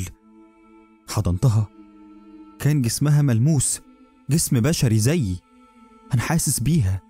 حاسس بحضنها ليا. ما بقتش مصدق. ما بقتش قادر أتخيل. لحد ما رئيس القسم شال القناع مني. وهو بيقول لي إيه رأيك في الإنجاز البشري الجديد؟ ما كنتش عارف أرد. كل اللي كنت عايزه إني أدخل جوه الواقع البديل تاني وبأقصى سرعة. كنت عايز أشوفهم تاني. بس هو كان رافض وقال لي إنها نسخة تجريبية ولسه هنعلن عنها بشكل رسمي قريب جدا. عدت سنة تانية كاملة على التعديلات. وأنا وكل زمايلي بنعمل أقصى ما عندنا علشان ندخل الواقع البديل لأن الموضوع فعلا عجبنا. بعد ما خلصنا اتعرض البرنامج بشكل كبير جدا على ال social media وابتدى ينتشر انتشار واسع جدا. البرنامج كان مجاني وسعر القناع كان قليل جدا. وده كان موضوع غريب شوية خصوصا إن الموضوع اتكلف جدا. ولكن كان تبرير السعر القليل ده في النظام التسويقي إنهم عايزين انتشاره يكون سريع جدا ويوصل فعلا لكل الناس. وفعلا الميتافيرس بقت في ظرف شهر واحد بس مع أكتر من نص الكوكب. وشهرته بدأت توسع لدرجة إنه استولى على كل وسائل التواصل. وبقت وسيلة التواصل الوحيدة هي الواقع البديل. الغريب في الأمر إن مفيش أي اختلاف في جوه الواقع البديل من حيث نظام الحكومات والدول لأ كل الرؤساء هي هي وكل حدود الدول هي هي. الاختلاف الوحيد هو إن بمجرد دخولك للبرنامج أنت ما بتبقاش فقير. على الأقل دلوقتي. لأن ثروتك ساعتها بتتعدى ال 2 مليون ميتا ودي العملة اللي بتقدر تشتري بيها كل حاجة أنت حاببها جوه الواقع البديل. بعد سنة واحدة بس أكتر من تلات أرباع الكرة الأرضية بقى ليهم شخصية في الواقع البديل. وبدأنا إحنا كمهندسين نحسب عدد الساعات اللي بيقضيها الفرد داخل الميتافيرس واللي بقت في أول سنة أكتر من 14 ساعة. وبعدها وصل المعدل ل 20 ساعة في اليوم. الناس بقت تنام وهي لابسة قناع الواقع البديل. شيء غريب جدا ولكن مبرر. انت جوه الواقع البديل بتقدر تعمل كل حاجة. شوبينج سينما كورة دراسة. كل نشاط تتخيله أو يجي في بالك انت بتنفذه وانت نايم على سريرك. من غير ما تضطر انك تتحرك أصلا. على قد ما كنت سعيد بحياتي مع فرح وعصام وعلى قد ما ثروتي وصلت جوه العالم البديل ل 2 مليار. إلا إن كل ده ما منعش الشركة إنها تنزل تحديثات جديدة. نزلت فعلا تحديث جديد وهو القدرة على الإنجاب. أيوة بالظبط أنت تقدر تتجوز وتخلف. الطفل هيبقى عنده ذكاء اصطناعي. هيقدر يكتسب خبراته منك ومن نشاطاتك الحياتية. هياخد نص شكلك ونص شكل زوجتك. يوسفنا يقول إن مع كل التطور ده الموضوع أصبح مرعب جدا. بقى في بشر بذكاء اصطناعي عايشين معانا وما تقدرش تفرق ما بينهم. حكومات الدول كلها استثمرت في الواقع البديل ده. ومع الوقت بدأ عالمنا الحقيقي ينهار. ما بقاش في حياة أصلا بدون القناع. طب هل الواقع البديل ده مستباح إن أنت تقدر تعمل فيه اللي أنت عايزه؟ تقدر تغلط يعني؟ أكيد لأ. الغلط في الواقع البديل بيكون ليه عقاب. والعقاب كان موحد على الكل. والعقاب كان عبارة عن مسح حسابك من منصة الواقع البديل. ودي بالنسبة للناس زي الإعدام. الناس بدأت تخاف ترتكب أي غلطات علشان ما ترجعش للواقع العادي. الناس كلها بقت عايزة تعيش في الواقع البديل طول الوقت. خايفين يغلطوا وخايفين يتعاقبوا. ببساطة شديدة جدا شركة ميتافيرس اتحكمت في العالم كله. وأنا من ناحيتي كنت رافض اللي بيحصل ده وساخط عليه جدا. كنت كل ما أقلع القناع بلعن نفسي. لأنه اللي حواليا دي ما بقتش عيشة. الشوارع أصبحت فاضية جدا. وسائل المواصلات أصبحت معدومة. واللي أصعب وأصعب هم البشر اللي اتحكم عليهم بمسح حساباتهم من منصة الواقع البديل. الناس دي اتحولت لوحوش بشرية وحرامية. بقوا بيجوبوا الشوارع يخربوا فيها لأنهم خلاص ما بقوش مقتنعين بالعالم العادي بتاعنا. بالنسبة لهم الواقع البديل اللي كانوا عايشين فيه هو العالم الحقيقي. والدنيا بتاعتنا دي ما بقتش تلزمهم في حاجة. أما الحكومات في عالمنا الحقيقي بقت تختلف كتير جدا عن الواقع البديل. الحكومات في عالمنا ما بقتش تعمل غير وزارة واحدة بس. بمعنى إنه ما بقاش فيه غير وزارة واحدة بس وزارة اسمها الحفاظ على البشر. الوزارة دي هدفها إنها تعين ناس مسؤولة عن أكلك وشربك وتجيبه لحد باب بيتك من غير فلوس. الحساب بتاع الحاجات دي بيكون داخل الواقع البديل وبتتحاسب على سعر اللي أكلته بالميتة. بس للأسف مش دي الوظيفة الوحيدة لوزارة الحفاظ على البشر. الوزارة دي بتقتل الفقراء ورجال الدين بتقتل كل اللي رافض لفكرة الواقع البديل. ومهما الناس دي بتعاني فمحدش بيسمع لهم صوت. البشر كمان بدأوا يقلوا بشكل ملحوظ. ومع الوقت ومع كل اللي بيحصل ده اكتشفت إني مش لوحدي من المهندسين اللي رافضين الفكرة. كان في مهندس اسمه كلارك جونز. كان خبير التقنية في قسم السيرفرات المتحكمة في الأقنعة. بدأنا نخطط أنا وهو بعد ما حكيت له وحكالي كل الحاجات اللي هو رافضها واللي أنا رافضها في البرنامج ده. وابتدينا نفكر جديا إننا لازم نمحي وجود البرنامج ده. وفعلا العدد بتاعنا زاد وبقينا أكتر من عشر مهندسين من مختلف الأقسام رافضين اللي بيحصل. وبدأنا مهمتنا في سرية تامة. كلارك كانت فكرته الأولى إنه يمحي العملة من البرنامج وده هيعمل خلل للمستخدمين بإنهم مش هيقدروا يستمتعوا برغباتهم جوه الواقع البديل. أما أنا فعملت خلل في نظام البرنامج وبدأت ألعب في النظام الجوي والأمطار والعواصف. وبقى الجو داخل الواقع البديل مش أحسن حاجة. بدأت الأمطار تنزل جوه البرنامج بغزارة شديدة جدا والعواصف بدأت تهب على المستخدمين باستمرار. ولكن كل ده ما كانش بيحوق قوي لأن أغلب المهندسين قدروا إنهم يحلوا كل المشاكل دي في ساعات معدودة. كنت خلاص شبه فقدت الأمل إني أوقف اللي بيحصل ده لحد ما في يوم جات لي مكالمة من كلارك وكان بيقول لي فيها بلال أنا خلاص قدرت أوصل لفكرة إني همسح شفرات الموقع كله. وبكده الموقع هيقع بدون رجعة وهتختفي كل الحسابات. الموضوع هياخد نص ساعة تقريبا. لو فشلت اعرف اني اتمسكت وإن بعد كده مفيش أي أمل. خلصت المكالمة دي ولبست قناعي فورا ووصلت للفيلا بتاعتي في الواقع البديل. حبيبي انت جيت؟ رميت المفاتيح وما ردتش عليها. قرب مني عصام ابني. وهو بيقول لي مالك يا بابا انت زعلان؟ قعدت على الكرسي بحزن شديد فقربت مني فرح. مالك يا بلال؟ فيك حاجة متغيرة. أنا عايز أقولك إن أنا إن أنا آسف يا فرح. آسف؟ آسف ليه؟ طول عمرك كنتي كنتي بتقولي لي سوق بالراحة. أنت عمرك ما سقت بتهور. مالك؟ أنا عمري ما سقت بتهور بعد ما ظهرتي في حياتي تاني. حياتك تاني؟ مش فاهمة. أقصد بعد ما كنت السبب في موتك أنت وعصام. بلال أنت مالك؟ فيك إيه النهاردة؟ في إنه إنه ما ينفعش. ما ينفعش نعترض على قدر ربنا. في إنك مش حقيقية يا فرح. أنت متي من عشر سنين. مت؟ مت إيه بس؟ حبيبي أنا قدامك. أنا اللي مخليكي قدامي بقناع أنا لابسه أنت مش موجودة يا فرح. بلال إحنا لازم نروح لدكتور. أنت ما بقتش متزن. بص لها عصام وهو بيقول لها ماما هو بابا بيعيط ليه وهو بيكلمك؟ شديت عصام ناحيتي وأنا بحضنه وبقول لفرح تعرفي المشكلة يا فرح؟ إنكوا حقيقيين. إنكوا حقيقيين جدا. بس ما ينفعش. ما ينفعش تكونوا موجودين. العالم ده مش حقيقي يا فرح. وأنا بكلمها التلفزيون اللي في الصالة اختفى. الكراسي بدأت تختفي. فرح فرح بدأت تبص باستغراب وعصام بان عليه الخوف. وبعد دقيقة عصام اختفى من إيديا. فرح ابتدت تصرخ وهي بتقول لي بلال إيه اللي بيحصل؟ هو في إيه؟ مسكتها من كتفها وقلت لها في إنك هتوحشيني يا فرح. الفيلا بدأت تختفي. فرح بدأت تختفي وأنا سامع صراخها وببكي. شلت القناع ولقيت تمن مكالمات فايتة من كلارك. ورسالة مكتوب فيها أنا نجحت يا بلال. الموقع اختفى. ما بقاش في واقع بديل.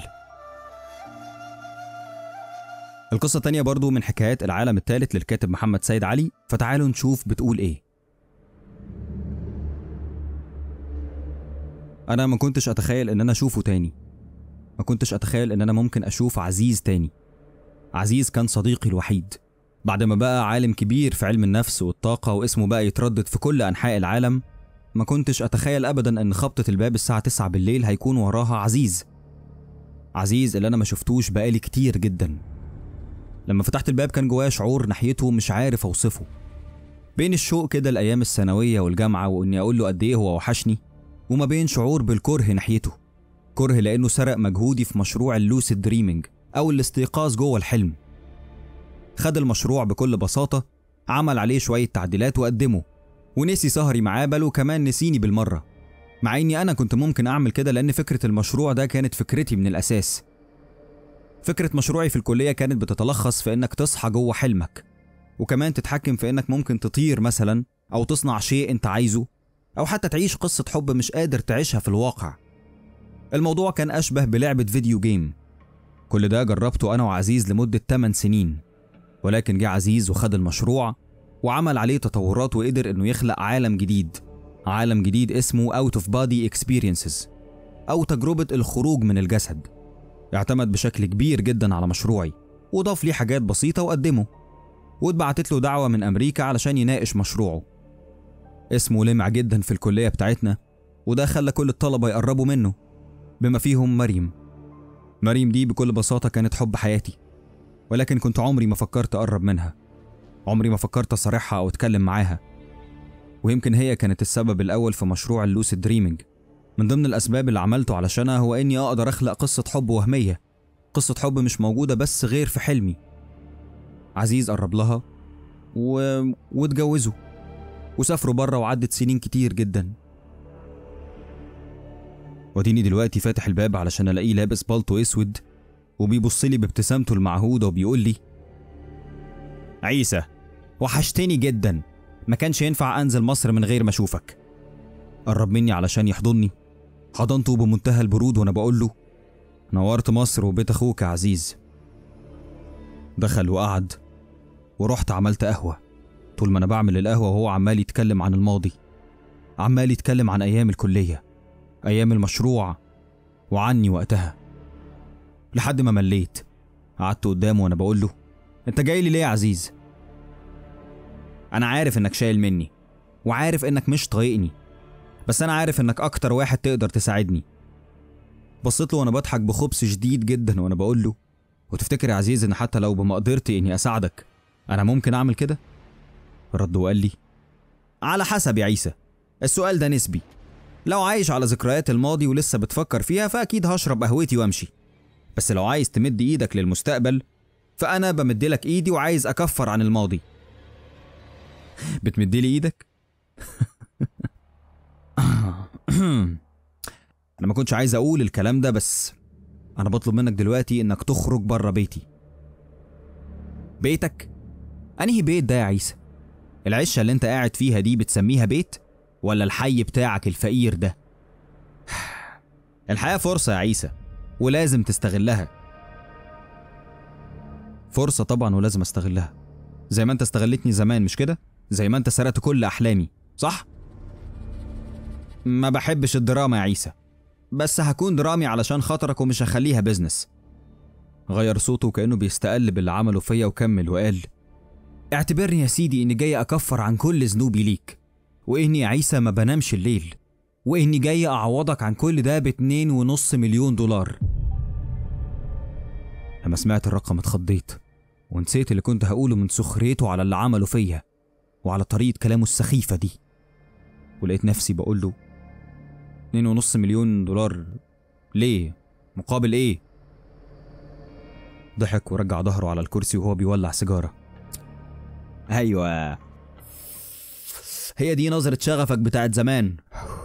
وهي دي النظرة اللي أنا كنت مستنيها. سكت وبصيت له وقلت له ما جاوبتنيش. إيه المقابل لده؟ طلع من الشنطة بتاعته كتاب صغير كده وبص لي وقال لي astral projection بصيت له وأنا مش فاهم فلقيته بيكمل الإسقاط الأثيري أو الخروج عن الجسد. وضح لي يا عزيز أنت عايز إيه؟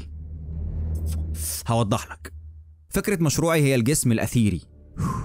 ودي مادة موجودة في السماء والأرض وجوه جسم الإنسان المادي. الجسم الأثيري ده يشبه تماما جسمك المادي بنفس الخلايا والتكوين.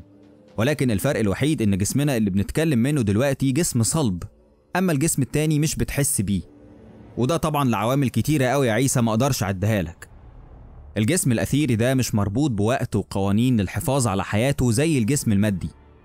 قطعت وقلت له عزيز الموضوع ده محتاج دراسة وقراية وأنا ما بقتش زي زمان. فأرجوك قول لي أنت عايز إيه من غير شرح ملوش أي فايدة. رد عليا وقال بالعكس أنت أكتر واحد هتفهمني يا عيسى. هبسطها لك. تقدر تقولي كنت بتتحكم في أحلامك إزاي مع إن جسمك المادي على السرير؟ الناس اللي في غيبوبة بقالها عشرات السنين تقدر تقولي عايشين إزاي؟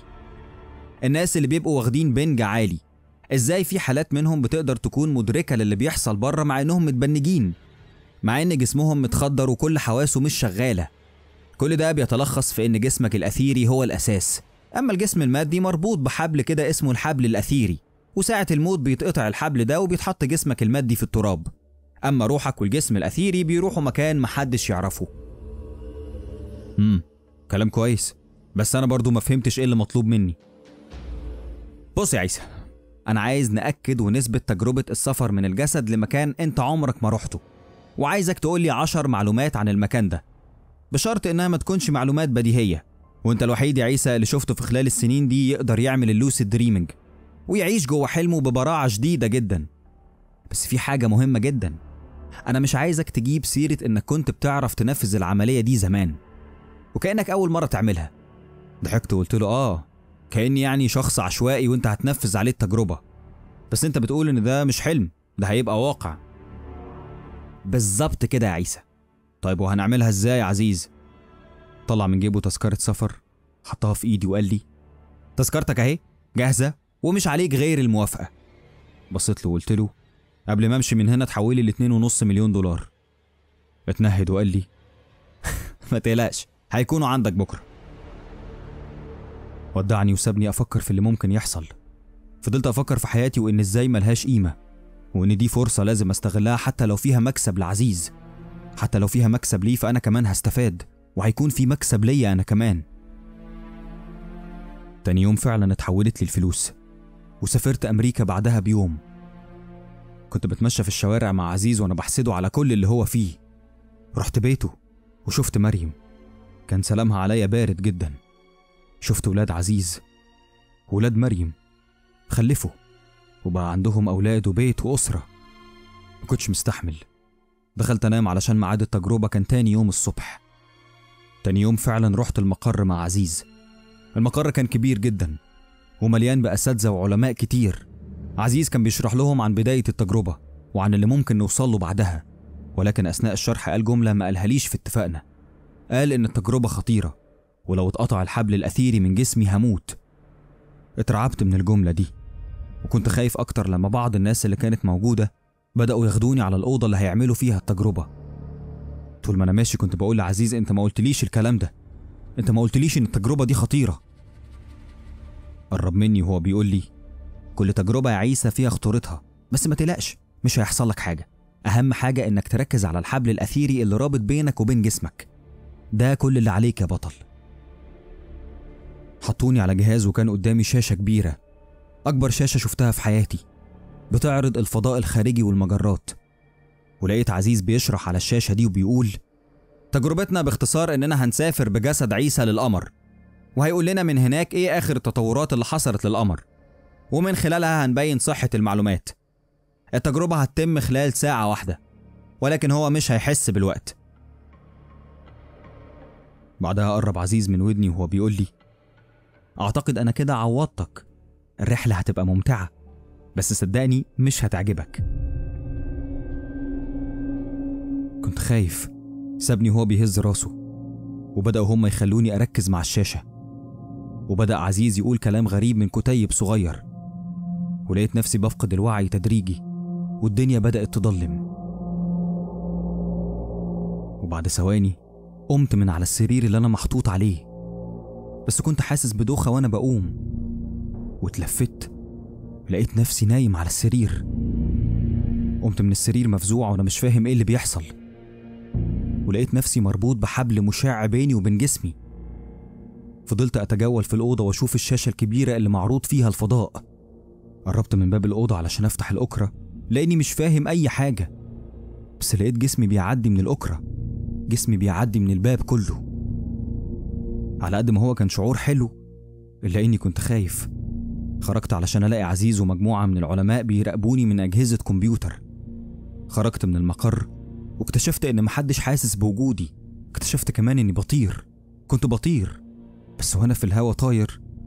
حسيت بوجود أجسام مشعة زيي بالظبط ولكن ملامحها مش باينة. كانوا بيطيروا المكان أنا مش عارف فيه أي حاجة ولكن مشيت وراهم بحذر.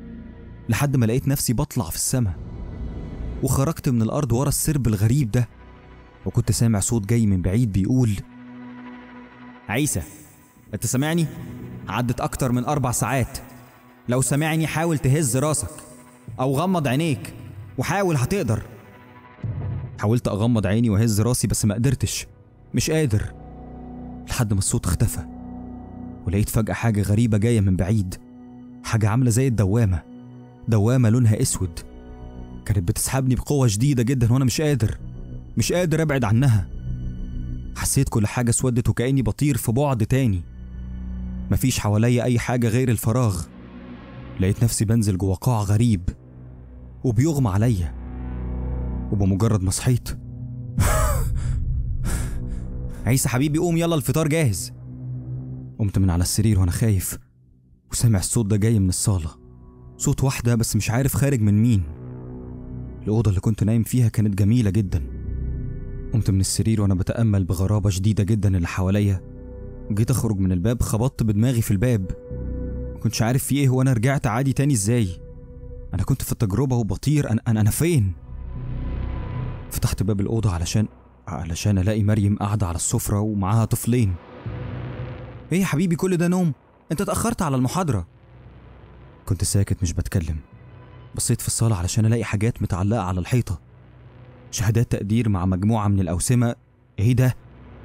ولكن كل ده كان كوم والصورة دي كانت كوم تاني. صورة ليا أنا ومريم لابسين فيها عريس وعروسة في فرح. قعدت وأنا مش عارف أقول إيه. فلقيتني بقول مريم هو هو في سجاير في البيت ولا أنزل أجيب؟ الأولاد بصيت لي باستغراب شديد ومريم رفعت حواجبها. ولقيتها بتقول لي سجاير أنت من إمتى بتدخن يا عيسى؟ اتوترت وقلت لها لا لا لا ده عشان بس عايز أجرب حاجة كده مش ليا طبعا مش ليا. وأنا قاعد جالي تليفون من شخص اسمه مستر ليكسفور. رديت الغريب في الأمر إنه كان بيتكلم ألماني والأغرب إني كنت فاهمه. كان بيحدد ليا ميعاد علشان يناقشني في موضوع بحثي الجديد بحثي عن الأكوان المتعددة وعلاقتها بالسفر عبر الجسد. كل ده وأنا مش متأقلم على اللي بيحصل. أنا مش فاهم فيه إيه. أنا إيه اللي بيحصل لي؟ دي مش حياتي. غيرت هدومي ونزلت. ركبت عربية واكتشفت إن أنا عارف أسوق. اتجهت ناحية المكان اللي قال لي عليه. كان كافيه وقعدنا فيه واتكلمنا. وقال لي مستر عيسى أنا مقدر بحثك جدا. وعارف إن الكل حدث أكتر من نتيجة. وده اللي درسته إن لو في موقف اتعرضت فيه للموت وما متش فأنت كده مت في عالم موازي تاني. زي مثلا لو قلنا إن في الحرب العالمية التانية أكيد في عالم موازي تاني ألمانيا خسرت فيه.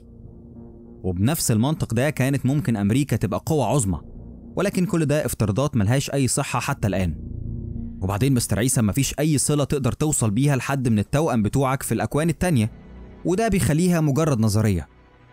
فإنك كمان سوري يعني تيجي ترفق كل ده في نظرية الإسقاط النجمي وإننا نقدر نحس بوجودهم؟ أكيد طبعا لأ. ولكن خليني أقول إن بحثك ده شد انتباهي جدا. وعشان كده أنا طلبت مقابلتك. مع كلامه ده ابتديت أفهم. أنا في عالم غير العالم بتاعي. القرارات بتاعتي اللي كانت فيها كذا نتيجة بتتحقق عليا. مريم كانت حب حياتي في العالم بتاعي وما قلتلهاش. بس في العالم ده مريم مراتي. مشروعي اللي سرقه عزيز لنفسه كنت أنا قادر برضه أنسبه لنفسي. وده أنا عملته هنا بالفعل. ولكن عزيز فين؟ الغريب إن كل المعلومات اللي كان بيقولها عزيز ليا في أول مقابلة لينا أنا عارفها ويمكن أكتر منه رجعت البيت وأنا مش عارف أعمل إيه أتأقلم على حياتي عادي وأعيش مع الإنسانة اللي حبيتها وأطفال أنا معرفهمش ولا أعمل إيه بيتك؟ أنهي بيت ده يا عيسى؟ العشة اللي أنت قاعد فيها دي بتسميها بيت؟ ولا الحي بتاعك الفقير ده؟ الحياة فرصة يا عيسى ولازم تستغلها أنا فرصتي جات لي وبدأت أعيش في حياتي الجديدة والمثالية بس اكتشفت إنها مش مثالية زي ما كنت فاكر.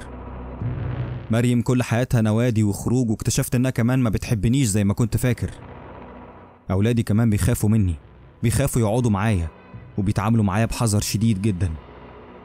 علشان كده أنا قررت إني أنزل مصر. يمكن أقدر أتشفى في صديقي القديم عزيز بعد ما عرفت إني أخدت مشروعي لنفسي بس وإن هو اتنسى تماما. مصر كانت متغيرة كتير عن اللي أنا أعرفها ولما سألت عن عزيز عرفت إنه مات منتحر بعد أول سنين ليا في السفر ومن نظرات ناس كتير جدا كنا نعرفهم كانوا بيبصوا لي بحقد شديد كأني أنا اللي قتلته رجعت بيتنا القديم وحضنت أمي وسألتها عن أبويا وأخويا نوح الأصغر مني بس شفت غرابة في عينيها وهي بتقول لي هي الغربة لحست دماغك؟ أبوك مات في الحرب ومين نوح ده كمان؟ فهمت. فهمت علشان كده ما ردتش. أبويا كان من المشاركين في حرب أكتوبر وبالتالي بالاحتمال اللي أنا عايش فيه يبقى أبويا مات. وأخويا نوح اتولد في 1975 فأكيد أنا كده ماليش أخ. إيه اللي بيحصل؟ خدت أول تذكرة لألمانيا. ومع وصولي كنت عارف أنا هعمل إيه كويس. فتحت الكتاب الصغير اللي كان معايا وشغلت شاشة عليها فضاء خارجي زي ما عملوا معايا بالظبط. اتصلت بمريم علشان أودعها ولكنها ما ردتش عليا. دوست الأطفال ودخلت الأوضة. كنت عارف إني لو مشيت من الحياة دي يبقى أنا هكون في الاحتمال التاني اللي قال لي عليه عزيز. التجربة خطيرة وممكن فيها الموت. بس ما ترددتش ونفذت. حسيت بنفس اللي حسيت بيه. ولقيت نفسي بطير وبدخل جوه نفس الدوامة السودة وبفقد الشعور نهائي وبيغمى عليا. ولما فقت لقيت نفسي على السرير في مستشفى. حواليا أمي وأخويا نوح وعزيز ومريم وأطفال. دول أطفال عزيز. وواقف جنبهم دكتور بيقول دي معجزة معجزة إنه يفوق من غيبوبة بعد ست سنين. كانت الصدمة ليا وأنا حاسس إني قعدت بس تلات أو أربع أيام. أمي فضلت تبوس في عزيز وأخويا يحضنه وأنا مش فاهم في إيه. عرفت إن عزيز هو اللي كان بيدفع تكاليف المستشفى بالكامل وهو اللي صمم إنهم ما يفكوش عني الأجهزة. وبعد شوية وبعد ما الناس كلها مشيت لقيت عزيز داخل عليا وهو بيقول لي الرحلة كانت ممتعة بس كنت عارف إنها مش هتعجبك يا صديقي. الحمد لله على السلامة.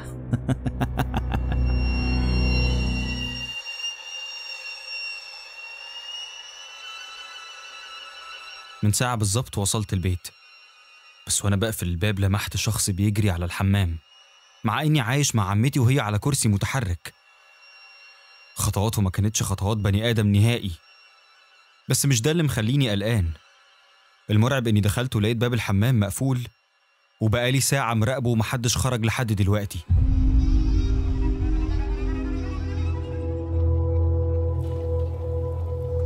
تعرف من كتر الأحداث المرعبة اللي شفتها في حياتي بقيت متبلد المشاعر. ما بحسش لدرجة إن أنا مش عارف أبدأ لك منين. بس خليني أمهد لك الموضوع من بدري قوي كان عندي عشر سنين لما والدتي توفت. وكانت فكرة سيئة لأبعد درجة إن والدي قرر إن أنا أعيش مع عمتي وهو يسافر تاني بره البلد. تعرف ليه كانت فكرة سيئة؟ لأني طول عمري بخاف من عمتي برغم حنيتها إلا إنها ست غريبة جدا طباعها حتى مش زينا ملهاش صحاب ولا جيران في الحي اللي هي فيه. أغلب السكان والجيران اللي حواليها معتبرينها مريضة نفسية. أمي كمان قبل ما تتوفى كانت مش بتحبها.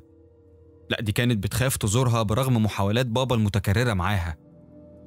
كانت ماما دايما تقول له أنا مش هروح لأختك يا رمزي. أختك مريضة ولازم تتعالج وما تاخدش عاصم معاك. كان بابا ساعتها يرد عليها ويقول لها أختي مش مجنونة يا مروة. أختي تعرضت لصدمة ولازم أقف جنبها وابني لازم يجي معايا في كل زيارة ويعرف عمته. كانت دايما أمي مع كل زيارة تفضل توصيني عاصم أوعى يا حبيبي تاكل من هناك وأوعى تاخد أي حاجة. قول لي أنت نفسك في إيه شفته عندها وأنا هديهولك. أما بابا فكان بيحب أخته جدا وكان مقدر اللي هي فيه وده بسبب إنها خسرت جوزها وابنها في حادثة بشعة. يمكن الصدمة دي أثرت عليها فبقت مدمنة للعرايس خصوصا بيلي. ودي العروسة المقربة لعمتي. عارف ليه؟ لأنها عروسة سمير ابنها. عمتي كانت بتحب العروسة دي جدا. مع كل زيارة كانت بتجيلنا فيها زمان كان بيبقى معاها دايما العروسة دي. لا ومش كده وبس كانت دايما تحاول تعرفنا عليها بس بطريقتها.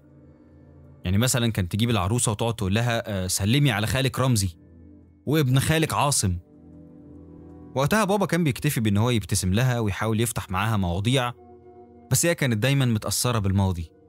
وعلى طول بتتكلم إنها عايشة مع سمير ابنها في أفضل حال. وإن هو ما بعدش عنها ابدا. لما كنا بنروح عندها كنا بنقعد تقريبا ساعة واحدة بس ونمشي. ما كنتش عارف طبعا بحكم سني هي بتتكلم مع بابا في إيه. لأنه الغريب إني كنت كل ما أروح لها بابا يقول لي اخرج اقعد في الصالة عند التلفزيون. فكنت بخرج وأسيبهم يتكلموا.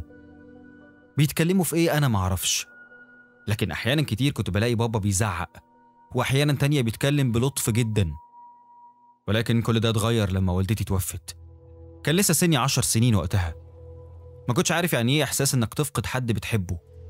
بس كنت فاكر إني كنت بعيط كتير. وأي حد كان بيخبط على الباب كنت بجري أفتح. على أمل إنها تكون أمي.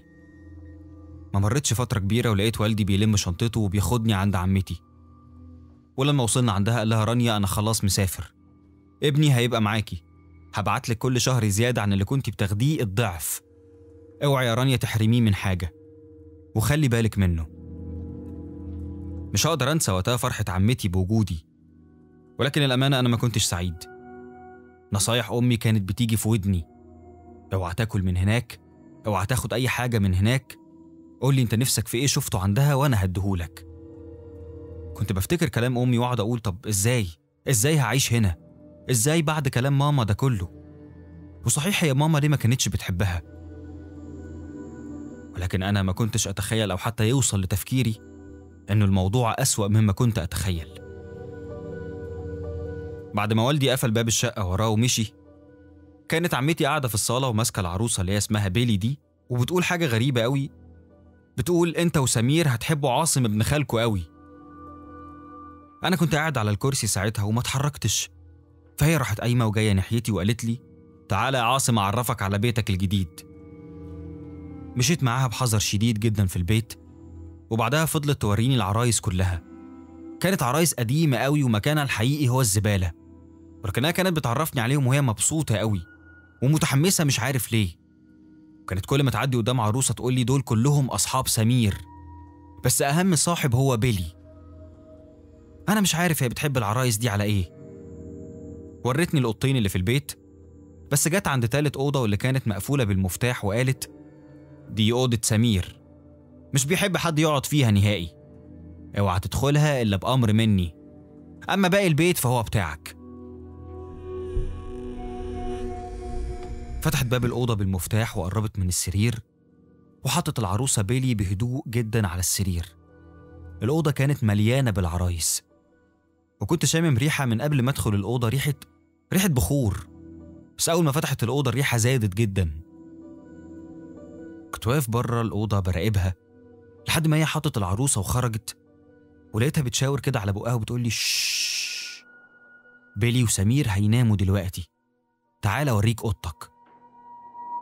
دخلت الأوضة اللي قالت لي عليها وكانت هادية جدا شاورت لي على سريري وحطتني عليه وطفت النور. ودخلت هي أوضتها وسمعتها وهي بتقفل الباب عليها. الليلة دي كانت أصعب ليلة في حياتي. ما كنتش متعود إن أنا بات بره بيتنا. وكنت بحاول أقنع نفسي إن ده بيتي الجديد. النوم كان رافض يجيلي خالص وما كنتش عارف أنام. وفي اللحظات دي سمعت خطوات بره في الصالة. الخطوات كانت بتمشي ببطء شديد. كنت مركز معاها جدا لأني مش عارف أنام. وبعد ثواني معدودة ما بقتش خطوات بس. ده كان في صوت طفل بيضحك. والخطوات دي اتحولت لجري. جري مستمر في الصالة. كان جسمي بيترعش مع كل ضحكة خارجة من الصالة. شديت البطانية على وشي من كتر الخوف لحد ما غلبني النوم. صحيت على صوت عمتي وهي بتقول لي الفطار جاهز. اكتشفت لما قمت إن عمتي أي حاجة بتعملها في البيت لازم العروسة بيلي دي تكون موجودة. دي حتى عاملة له كرسي مخصص على السفرة. غصب عني كنت بركز معاه أكتر. كانت عروسة كبيرة قوي بحجم الطفل تقريباً. عينيه كمان كانت غريبة.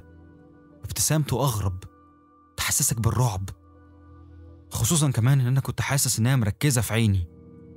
أو يمكن علشان أنا قاعد في وشها فهي بصالي. أنا عمري ما كنت بحب العرايس. عمتي لما لقيتني مركز مع العروسة بيلي دي كتير اتكلمت. وقالت لي أنت هتفضل باصص لسمير كتير؟ بصت لها وقلت لها ببراءة الأطفال يعني هو اسمه سمير ولا بيلي؟ أنا فاكر توترها وهي بتهته في الكلام. قالت "آه، أقصد بيلي. قلت لها هو أنت كنتي في الصالة بتضحكي امبارح يا عمته؟ بصت للعروسة وبعدين بصت لي بيأس وقالت أيوه كنت مبسوطة. قلت لها بس ده كان صوت طفل. قالت لي كل يا عاصم كل وما تسألش كتير هنا. قالتها وهي بتبص لي بغضب. فأخدت السندوتش اللي عملته لي وسكت. مع الوقت بدأت أتأقلم. عمتي عرفتني اليوم ده على عدة قواعد كده صارمة لازم أنفذها. وده علشان ما تزعلش مني. القواعد دي كانت كتيرة جدا وبيكتروا كل ما بكبر في السن. بس أنا هحاول أقول لكم أهمها. ممنوع تخرج من أوضتك لأي سبب بعد الساعة 12 حتى لو عايز تعمل حمام اعمله في أوضتك. وممنوع فتح غرفة سمير في أي وقت من اليوم. ممنوع أجيب سيرة لأي شخص عن العرايس اللي في البيت. ممنوع أقعد لوحدي إلا في فترة النوم. دي كانت أهم القواعد اللي كبرت عليها. كبرت على صوت خطوات وضحك. بيبدأ كل يوم بعد الساعة واحدة بالليل. ما بقتش أحاول أعرف إيه مصدر الصوت وما بحاولش أجادل مع عمتي كتير. وكبرت وأنا واثق إن في شيء غامض في بيت عمتي. بس مستحيل أعرف مصدره أو حتى أحاول أعرف. لما وصل سني ال 15 سنة الأمر بقى أشد خطورة. لما كنت بنام كنت بشوف طفل صغير واقف على باب الأوضة بتاعتي وبيمدلي إيده. وأما حاولت أقوم من سريري علشان أروح له لقيته جري وضحك كأنه بيلعب. جريت وراه بس لما خرجت ما لقيتش حد.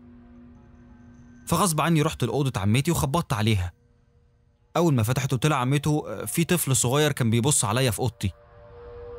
كنت أول مرة أشوف عمتي بترتعش كده. وبعدين لقيتها بتجري على الدولاب بتاعها وجابت منه شوية مفاتيح وبعدها جريت على أوضة سمير. والغريبة إني لما جريت وراها لقيت الأوضة مفتوحة. قعدت تضرب بإيديها على خدها وهي بتقول نسيت أقفل الباب بالمفتاح. خش أوضتك دلوقتي واقفل عليك. عملت كده ودخلت الأوضة وقفلت عليا. بس كنت سامعها من بره وهي عمالة تتكلم في التليفون وبتقول والله نسيت. أنا أسفة. والله ما كنت أقصد. أرجوكي تعالي. هديك اللي انت عايزاه. بعد ساعة سمعت حد بيخبط على الباب. حطيت ودني على باب أوضتي. كانت عمتي بتتكلم مع واحدة. والست دي عمالة تزعق فيها وبتلعنها إنها نسيت تقفل الباب. كنت سامع الست دي وهي بتقول كلام عمري ما سمعته في حياتي. وشوية وابتديت أسمع صوت حد تاني غيرهم. حد تاني بيضحك. والصوت كان صوت طفل. جريت على سريري واتغطيت من الخوف. ما قدرتش أنام اليوم ده نهائي. لأني حتى فاكر آخر جملة قالتها الست دي لعمتي. قالت لها المرة اللي جاية فيها موتك يا رانيا. محدش هينفعك. قالتها بنفس الطريقة كده. بعد اليوم ده كل حاجة اتغيرت. عمتي ما بقتش تحب بيلي. ما بقتش حتى تخرجه. وحطت تلات تقفال على أوضة سمير. البيت كمان ما بقاش زي الأول. ما بقاش فيه صوت خطوات بعد الساعة واحدة. وما بقاش فيه صوت حد بيضحك. الدنيا تقريبا بقت طبيعية. عمتي ما بقتش تجيب سيرة بيلي أبدا. لا ده كمان بقت تخاف تعدي من قدام أوضة سمير. وأنا ساعتها ما كنتش فاهم إيه مصدر الخوف ده. إيه اللي بيحصل مع عمتي وأنا معرفوش كبرت وبقى سني 22 سنة. ولسه الأوضة بتاعت بيلي دي مقفولة. بس في تغيرات كتير. عمتي جالها جلطة في دماغها أنتج عنها إنها اتصابت بشلل في رجليها. وبقت قاعدة على الكرسي. بقيت أخدمها طول الوقت وبقت تحبني وتزعل لما أخرج من البيت. أما أنا كل اللي كنت بشوفه زمان بقى جزء من الماضي لأنه البيت بقى هادي لأبعد حد وأوضة سمير مقفولة من سنين لدرجة إني نسيت الأوضة دي نهائيا لحد الأسبوع اللي فات بس. الأسبوع اللي خلاني أخسر كل حاجة. كنت قاعد مع ناس صحابي وبنتكلم كالعادة زي أي حد في أكتر المواقف المرعبة اللي إحنا شفناها في حياتنا والمواقف الطريفة كل الحاجات دي. بنتكلم عادي يعني. كنت قاعد بسمعهم كلهم وساكت. لحد ما واحد منهم اسمه ممدوح اتكلم وقال لي أنا شايفك ساكت يا عاصم. فأنا علشان عارف اللي هيحصل قلت له أنا لو حكيت عن طفولتي بس أعتقد إن أنتوا شعركم هيشيب. فضلوا يضحكوا فضحكت معاهم. لحد ما ممدوح طلب مني إني أحكي. فقررت إن أنا أحكي لهم قصتي في بيت عمتي. الغريب إن القصة بتاعتي الكل ضحك عليها ما عدا ممدوح. كانوا كلهم شايفين إن أنا خيالي واسع جدا وعمال أتخيل حاجات مش موجودة لحد ما أنا غيرت الموضوع ونسيت. بس اللي ما نساش هو ممدوح. ولما جينا روحنا مشي معايا في نفس الطريق لأنه ساكن على نفس السكة بتاعتي. وإحنا ماشيين لقيته بيقول لي تعرف إن أنا مصدقك يا عاصم؟ بصيت له قلت له مصدق إيه؟ قال لي عمتك عمتك يا عاصم والعرايس. قلت له أنا حسيت من لمعة عينيك يا ممدوح بس أحرجت أسألك ليه؟ رد عليا وقال لي أنا عمي كان راقي شرعي وكان دايما بيقول لنا إن العرايس أحيانا بتسكنها الشياطين وفي حالات كتير عالجها ولقى إنه معمول سحر وأعمال جوه عرايس في البيت. قلت له خلاص يا ممدوح ما علينا ده موضوع قديم. رد عليا وقال لي يعني انت مش نفسك تفتح الأوضة وتشوف العرايس دي حكايتها إيه؟ سكت شوية كده وبعدين قلت له أكيد نفسي بس ده هيزعل عمتي وأنا مش عايز أزعلها. ورد وقال لي انت مش قلت إن هي نسيت بيلي ده وما بقتش مهتمة بيه؟ قلت له أيوه قلت. قال لي يبقى ليه لأ؟ سكت شوية بعد كده قلت له لأ ما ينفعش وأنا مش عايز أعمل كده. وحتى لو راودتني الفكرة فلأ لأ مش عايز أعمل كده. وسبته وودعنا بعض وكل واحد راح لبيته. دخلت الشقة حطيت المفاتيح على المكتب وعديت من قدام غرفة سمير.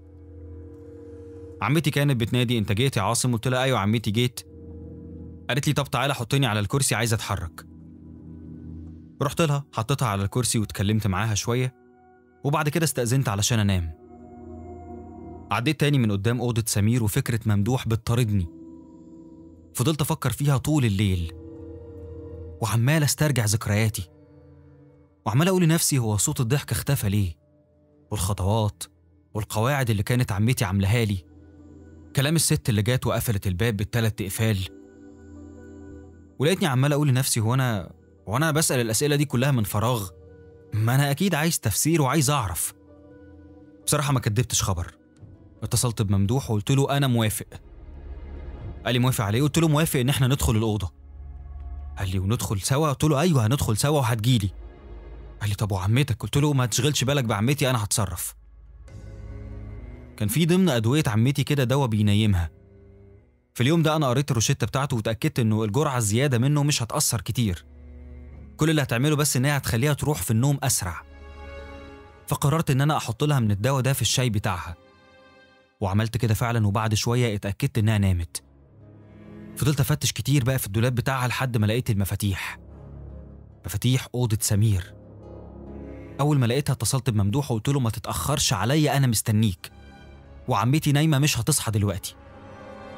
بعد أقل من ساعة كان ممدوح جه. ودخلنا الأوضة. ممدوح أول ما دخلنا كان شغله بس البخور اللي مالي الأوضة. أما أنا كنت بتفرج على الأوضة اللي ما شفتهاش من 12 سنة. وممدوح كان بيتفرج على العرايس ومستغرب. لحد ما وصلنا عند السرير بتاع سمير وكان نايم عليه بيلي. فرحت قايل لممدوح بهدوء هي دي العروسة الغريبة. شالها كده من مكانها ورفعها وقعد يلف فيها. وراح قايل لي العروسة دي مسحورة. قلت له نعم وعرفت منين؟ قال لي بص بص الإخرام الكتير اللي فيها كل الفتحات دي معناها سحر. وبعدين دي عروسة قديمة جدا. وبالإضافة للقصة اللي أنت حكيتها اللي لو أنت بقى كنت بتكذب عليا. قلت له أكدب عليك إيه؟ والله العظيم ده اللي كنت بشوفه وأنا صغير. قال لي يبقى خلاص خد العروسة دي وأنا أقول لك نرميها فين. قفلنا باب الأوضة كويس وخرجنا. وأخدت العروسة دي معايا. كنت شايلها وكان وزنها تقيل جدا. ركبت مع ممدوح العربية بتاعته ولقيته رايح ناحية المقابر. دخلنا ولقيته بيحفر حفرة صغيرة وقال لي ارميها هنا. بس أنا قبل ما أرميها فكرت في فكرة غريبة قوي معرفش جات لي إزاي. قلت له ممدوح هو أنت مش بتقول إن عمك كان بيلاقي جوه العرايس دي أعمال؟ قال لي أيوه. ما استنيتش كتير. مسكت العروسة وقطعتها. بس اللي شفته صدمني. اللي جوه العروسة ما كانش عمل. اللي جوه العروسة كان كان عظم. عظم لطفل صغير. لما فكيت القماش بتاع راس العروسة كان فيه راس هيكل عظمي. مش ممكن. أول حاجة جت في بالي عمتي معقولة خدت جثة سمير وحطيتها جوه العروسة دي. من الصدمة ممدوح خاف وفضل يستعيذ بالله ويلعن في عمتي على اللي عملته ده. وأنا ما كنتش مصدق. علشان كده كانت عمتي بتقول على بيلي سمير. عشان كده كانت بتكلمه باستمرار. حطيته في القبر وأنا مش مصدق إن ممكن إنسان يعمل كده. ورجعت البيت. بس وأنا بقفل باب الشقة لمحت شخص بيجري على الحمام. مع إني عايش مع عمتي وهي على كرسي متحرك. خطواته ما كانتش خطوات بني آدم نهائي. بس مش ده اللي مخليني قلقان. المرعب إن باب الحمام مقفول ومراقبه بقالي ساعة ومحدش خرج لحد دلوقتي. كنت قاعد في الصالة وباصص على الحمام. وشايف فيه خيال حد. ساعتها كنت هموت من الخوف على عمتي وعايز أحاول أروح أشوفها صحيت ولا لأ. وصلت لباب أوضتها وكان جسمي مش شايلني. مش عارف أصرخ من اللي شايفه. ولساني اتشل. عمتي عمتي مشنوقة في المروحة. رجعت ببطء شديد وأنا شايف أوضة سمير مفتوحة. أنا متأكد إني قفلتها. قربت من الأوضة علشان عشان ألاقي على السرير العروسة. عروسة بيلي متقطعة ونايمة على السرير. جيت أخرج سمعت صوت باب ورايا. كان باب الحمام. بصيت بسرعة علشان أشوف خيال لطفل صغير واقف على عتبة الحمام. وبتطلع منه ضحكة مرعبة وهو بيقول اوعى تدخل أوضتي تاني. إلا بأمر مني. دي كانت القصة الأولى وتعالوا نشوف القصة التانية بتقول إيه. بعد كل جريمة قتل أو انتحار أو حتى حريقة في البيوت بنعرف إنه جه ميعاد شغلنا. تنظيف المخلفات الناتجة عن الحادث في المكان. يعني زي مسح الدم عن الجدران والأراضي بعد ما يخلص الطب الشرعي مهمته. أكيد بتسأل في حد شغال الشغلانة دي. أحب أقولك إنه أيوة فيه. إنك تلاقي وظيفة حكومية في الزمان ده مش أمر سهل على فكرة. وعشان كده قبلت بأي عمل يضمن لي مرتب ومعاش مستقبلي حتى ولو قليل. مهما كان العمل ده بقى مرعب ولا يخوف. لما استلمت الوظيفة الجديدة فرحت وكنت متحمس علشان أخيرا هلاقي مرتب ثابت. خصوصا بعد أول مهمتين واللي كانت تنظيف بيت في الدور الأرضي من الصرف الصحي. لكن مع الوقت اتحول الشغل الكابوس بالذات في المهمة الأخيرة. استدعاني المدير وقال لي محمد أنت هتكون مشرف في قسم جديد على ثلاث عمال جداد. الحقيقة استغربت جدا إن أنا هكون مشرف خصوصا إني ما بقاليش شهر واحد بس في الشركة. ولكن قلت يمكن بسبب حسن أخلاقي. ولكنه كمل كلامه وقال لي عايزك ما تخافش يا محمد. أي مكان هتروحه مش هتشوف فيه ولا جثة لأن هيكون الطب الشرعي أخدها. شغلنا بس ننظف مش أكتر. هزيت راسي وقلت له حاضر وخرجت من المكتب وأنا عارف إن أنا اتنقلت لقسم الطوارئ. وهو قسم لتنظيف البيوت اللي فيها جثث وآثار دم. واستلمت المهمة الأولى. وعلى ما أعتقد الأخيرة. البيت ده كان عايش فيه واحد لوحده لقوه مقتول بالصدفة. لما رحت المكان أنا والتلات عمال على عكس كلام مديري الجثة كانت موجودة وشايفينها أنا والتلاتة العمال اللي معايا. شفناها وشمينا ريحة العفن اللي كانت في المكان وكان موجود الطبيب الشرعي وكان في ناس بتشيل الجثة. الجثة كانت في حالة صعبة جدا. واضح إنها كان بقالها كتير هنا في البيت. على فكرة أنا قاصد إن أنا أقول الجثة لأني بصراحة ما كنتش عارف أميز المتوفى ده ذكر ولا أنثى. كمان ما حاولتش أبص كتير لأنه الأمر مربك ليا. بعد ما خرجت الشرطة والطب الشرعي جه دورنا إحنا الأربعة. بس في اتنين عمال من اللي كانوا معانا تعبوا من الريحة. وفضلوا واقفين بره ماسكين بطنهم وبيرجعوا. ناداني الطبيب الشرعي وهو بيوريني الكرسي اللي كان قاعد عليه الجثة وقال لي إن هو ولد عنده عشرين سنة مات في ظروف غامضة وعرفت إنه هو بيبلغ الشرطة الخط اتقطع. والده ووالدته طلبوا مننا إننا نروح ننظف البيت من آثار الدم ووراني كمان الحاجات المهمة اللي إحنا ما نقربلهاش والحاجات اللي إحنا ننضفها وبقيت في البيت أنا والتلات عمال اللي معايا.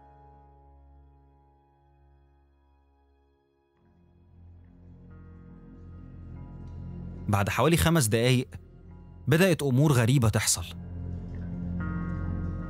وكان أولها إني لما حاولت أنظف الكرسي من الدم وبعدها أفكه علشان أشيله في كيس مشيت حوالي خمسة متر ناحية الباب الأمامي علشان أحط ظهر ال- الكرسي في الكيس. ساعتها بس حسيت إن قعدة الكرسي بتتهز مع العلم إن ما كانش في حد في الأوضة غيري لأن التلاتة التانيين انشغلوا في تجميع الصناديق من الدور اللي تحت. حسيت إنها صدمة عادية وأوهام نتيجة إن المتوفى كان على الكرسي اللي أنا شايله ده. بس اللي كان مش مبرر هو إحساسي بالبرد والرعشة خصوصا إننا في شهر يونيو يعني عز الحر. ولكن وأنا واقف قطع تفكيري صوت كركبة في البدروم اللي تحت البدروم اللي كان فيه التلات عمال. فنزلت جري علشان أشوف إيه اللي بيحصل فلقيتهم عمالين بيزقوا بعض وبيقولوا إن هم شافوا حد في البدروم وهم بينضفوا ولعت الكشاف ودخلت معاهم بس ما كانش في حد. وهم بيقسموا إنهم مش كدابين. كانوا خايفين مني إني أعمل لهم خصم في المرتب والحقيقة أنا كنت غضبان جدا. بس الحقيقة إن وأنا خارج سمعت صوت حد بيكح جوه. كانت كحة قوية جدا. بصينا لبعض باستغراب ورجعت أبص تاني ورا وأنا مسلط الكشاف. ولكن برضه ما لقيتش حد. بس الغبار والتراب اللي كان تحت من أثر التنظيف كان مبين كأن في حد بيجري كأن في طور هايج تحت. الموقف كان غريب جدا وخلانا كلنا في حيرة. مين ده اللي تحت؟ بعد ربع ساعة بس من الشغل كل العمال تقريبا كانوا كلهم بيجوا لي يقولوا لي إن هم بيحسوا إن في حد بيلمسهم وهم شغالين. وأنا ما كنتش مهتم خالص كنت عايز أخلص الشغل وزعقت فيهم علشان ينجزوا. وطلعت أنا للدور اللي فوق. وأول ما طلعت لقيت حاجة غريبة جدا. الكيس اللي فيه الكرسي اختفى والمنظف كمان اللي بنضف بيه اختفى. وقعدت أفكر هو أنا نزلت بيهم؟ طب أنزل أسأل العمال عليهم؟ ولا مش عايز أسأل علشان ما أكدش إن في حاجة غريبة؟ مرة تانية حسيت بالبرد بس المرة دي المرة دي كان في صوت أنا سامعه صوت حاجة بتهمس. ما كنتش عارف هو إيه ولا قال إيه بس أخدت نفس عميق وفي صمت شلت السجادة وبدأت انضف الدم اللي على الأرض. عدى أكتر من نص ساعة وأنا بنضف ومش سامع صوت للعمال تحت. واضح فعلا إنها كانت تهيؤات. شلت السجادة علشان أركنها وانضف السقف من أثر الدم. الدم كان مالي الشقة بطريقة غريبة. واضح إن الضحية دي نزفت كتير جدا. وواضح كمان إنها تعرضت للتعذيب. كنت بتمنى إن اللي عمل كده يتجاب في أسرع وقت. مش عشان قتل. لا ده عشان قاصد إن هو يتعبني. لأنه كمان في دم على المكتبة كلها. فرحت قلت أبدأ بيها. طلعت المنظفات وبدأت أنظف المكتبة وكانت تقريبا فاضية خالص. ما فيهاش غير كتابين بس. وأنا بشيلهم لقيت ورق فلوسكاب كده مكتوب فيه خط وحش جدا. وكان اللي بيكتب كأنه بيترعش وهو ماسك الورقة تقريبا. فرحت قاعد على طرف السرير وبدأت أقرأ. مع إني المفروض ما اعملش كده ولا أقرب ناحية حاجة لكن فضول. واللي قريته كان كالآتي. أنا في وضع مرعب دلوقتي ومش عارف أتصرف نهائي. مش عارف أخرج من أوضتي. إزاي؟ إزاي خدعوني؟ وإحنا فاكرين إننا بنخدعهم طول السنين اللي فاتت دي؟ طب يا ترى أمي وأبويا فين؟ أنا لو ما اتصرفتش هموت. بس أنا غبي وأنا السبب. قبل ما أكمل قراية لقيت تليفوني بيرن. حطيت الورق ده في جيبي ورديت. كان ولد من العمال اللي معايا بيقول لي إن في ناس عايزاني تحت. لقيت راجل وسيدة تقريبا في منتصف الأربعينات وأول حاجة قالوها إحنا بنشكركم جدا وهنديكم حقكم كامل وبزيادة. إحنا استدعينا ناس تنظف الحاجات اللي في البيت وتقدروا تمشوا دلوقتي. كان الأب اللي بيتكلم والأم بتبص لي بنظرات غريبة جدا. العمال كلهم راحوا خدوا الفلوس وجي دوري وهو بيديني الفلوس. فلقيته بيقول لي في حاجة فوق لقيتها ولا حاجة وانت بتنظف؟ دليل يعني. ترعشت شوية كده وأنا واقف مكاني وبعدين قلت له لا ما لقيتش حاجة. رفع حاجبه وابتسم وقال لي أصلها حاجات مهمة جدا وأسرار عيلة ما ينفعش تطلع بره ولو خرجت هترجع تاني. ابتسمت له كده ابتسامة صفرا وأنا بقول له أكيد يا فندم أنا شغلي مش بيحتم عليا إني آخد حاجة من المكان. بعد إذنك. خبط على كتفي كده وهو بيقول لي سلام ومراته بتبص لي بحقد جدا. روحت البيت وأنا مصمم إني أقرأ الورق ده وبدأت قراية تاني. أنا في وضع مرعب دلوقتي ومش عارف أتصرف نهائي. مش عارف أخرج من أوضتي. إزاي؟ إزاي خدعوني؟ وإحنا فاكرين إننا بنخدعهم طول السنين اللي فاتت دي؟ طب يا ترى أمي وأبويا فين؟ أنا لو ما اتصرفتش هموت. بس أنا غبي. وأنا السبب كنت إزاي أنسى كلمة السر؟ أنا هحاول أكتب كل حاجة. علشان لو الشرطة ما جاتش في الوقت المناسب. بس قبل ما أكتب هنزل البدروم بتاع البيت. الصفحة الأولى خلصت والخط كان مليان هرجلة وكأنه بيكتب بخوف شديد. ومكمل في الصفحة التانية وكاتب بابا وماما ماتوا. ماتوا في البدروم. مش هتلاقيهم غير ورا الباب السري. ادخل البدروم وامشي ست خطوات. هتلاقي باب خشب في الأرضية. افتح الباب وهتلاقيهم تحت. أنا حطيتهم تحت علشان ما يمثلوش بجثتهم. بس هما ماتوا بسببي. وأنا عارف ماتوا ليه. ماما طول عمرها غريبة. كنت بشوفها في أماكن كتيرة في نفس الوقت وأنا صغير. ولما أسألها تقولي بعد كده لو شفتني في البيت تاني تقولي جملة قبل ما تكلمني. لو رديت عليك بالرد ده اتكلم. ولو ما ردتش يبقى أنا مش فاضية. وكانت بتغير الجملة دي كل يوم.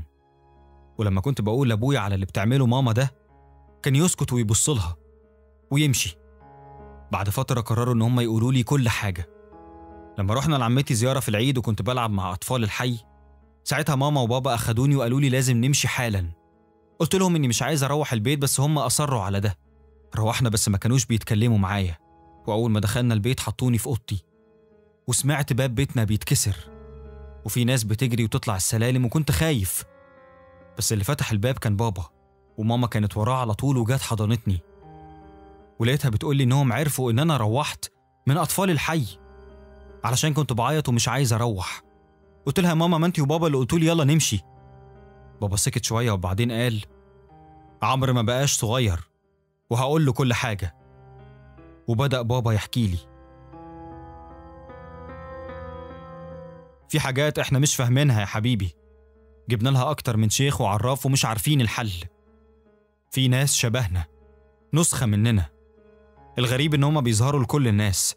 والناس بتقول لنا على حاجات إحنا ما عملناهاش. كنا فاكرين إن العيب في البيت بس ديك شايف. غيرنا البيت والموضوع ما خلصش. عايز اقولك إن اللي ماما بتعمله ده صح. كل يوم هتعرفك جملة جديدة بينا إحنا بس. هما مش هيعرفوها.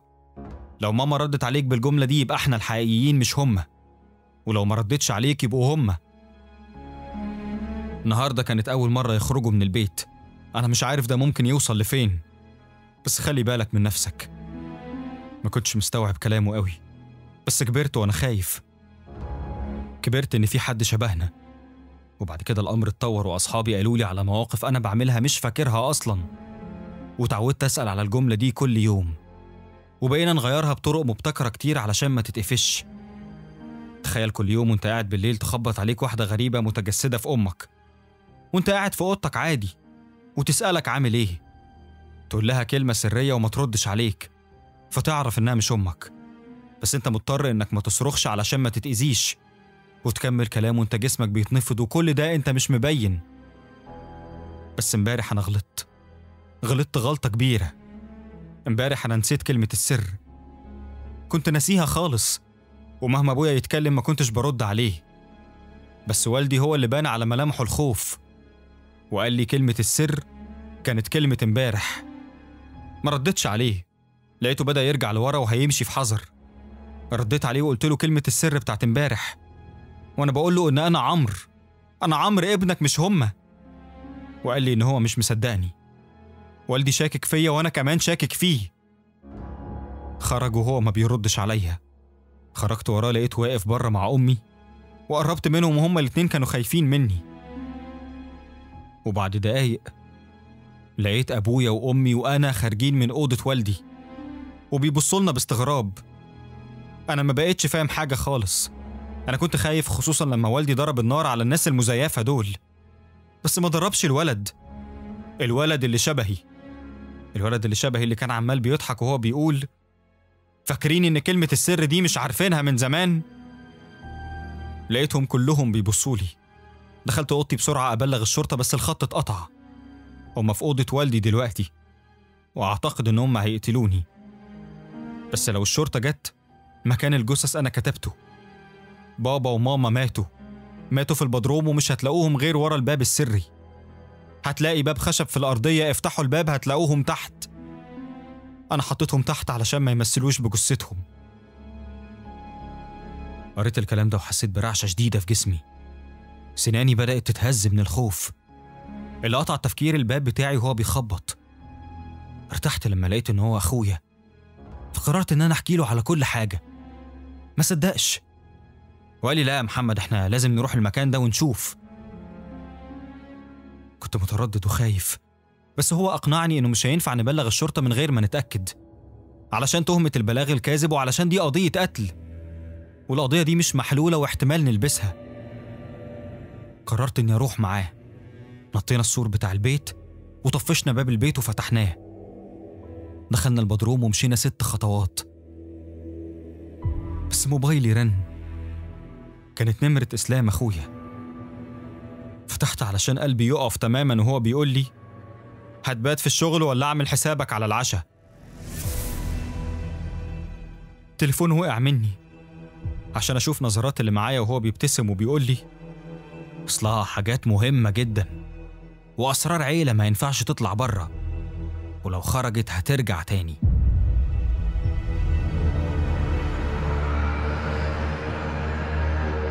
تعرف أنا شفت مواقف وحكايات مرعبة كتير.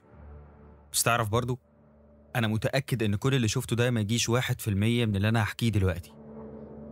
أنا هحكي لك نبذة مختصرة عن حياتي. حياتي لأقل كلمة توصفها إنها حياة بائسة. برغم فقري الشديد وإني عايش أنا ووالدتي في شقة إيجار جديد في منطقة شعبية إلا إني بمتلك فيلا في منطقة راقية جدا. أيوة ما تستغربش. أنا عندي فيلا. فيلا مستحيل أبيعها ومستحيل برضو أعيش فيها. بس النهاردة جاي لي شخص عايز يشتري.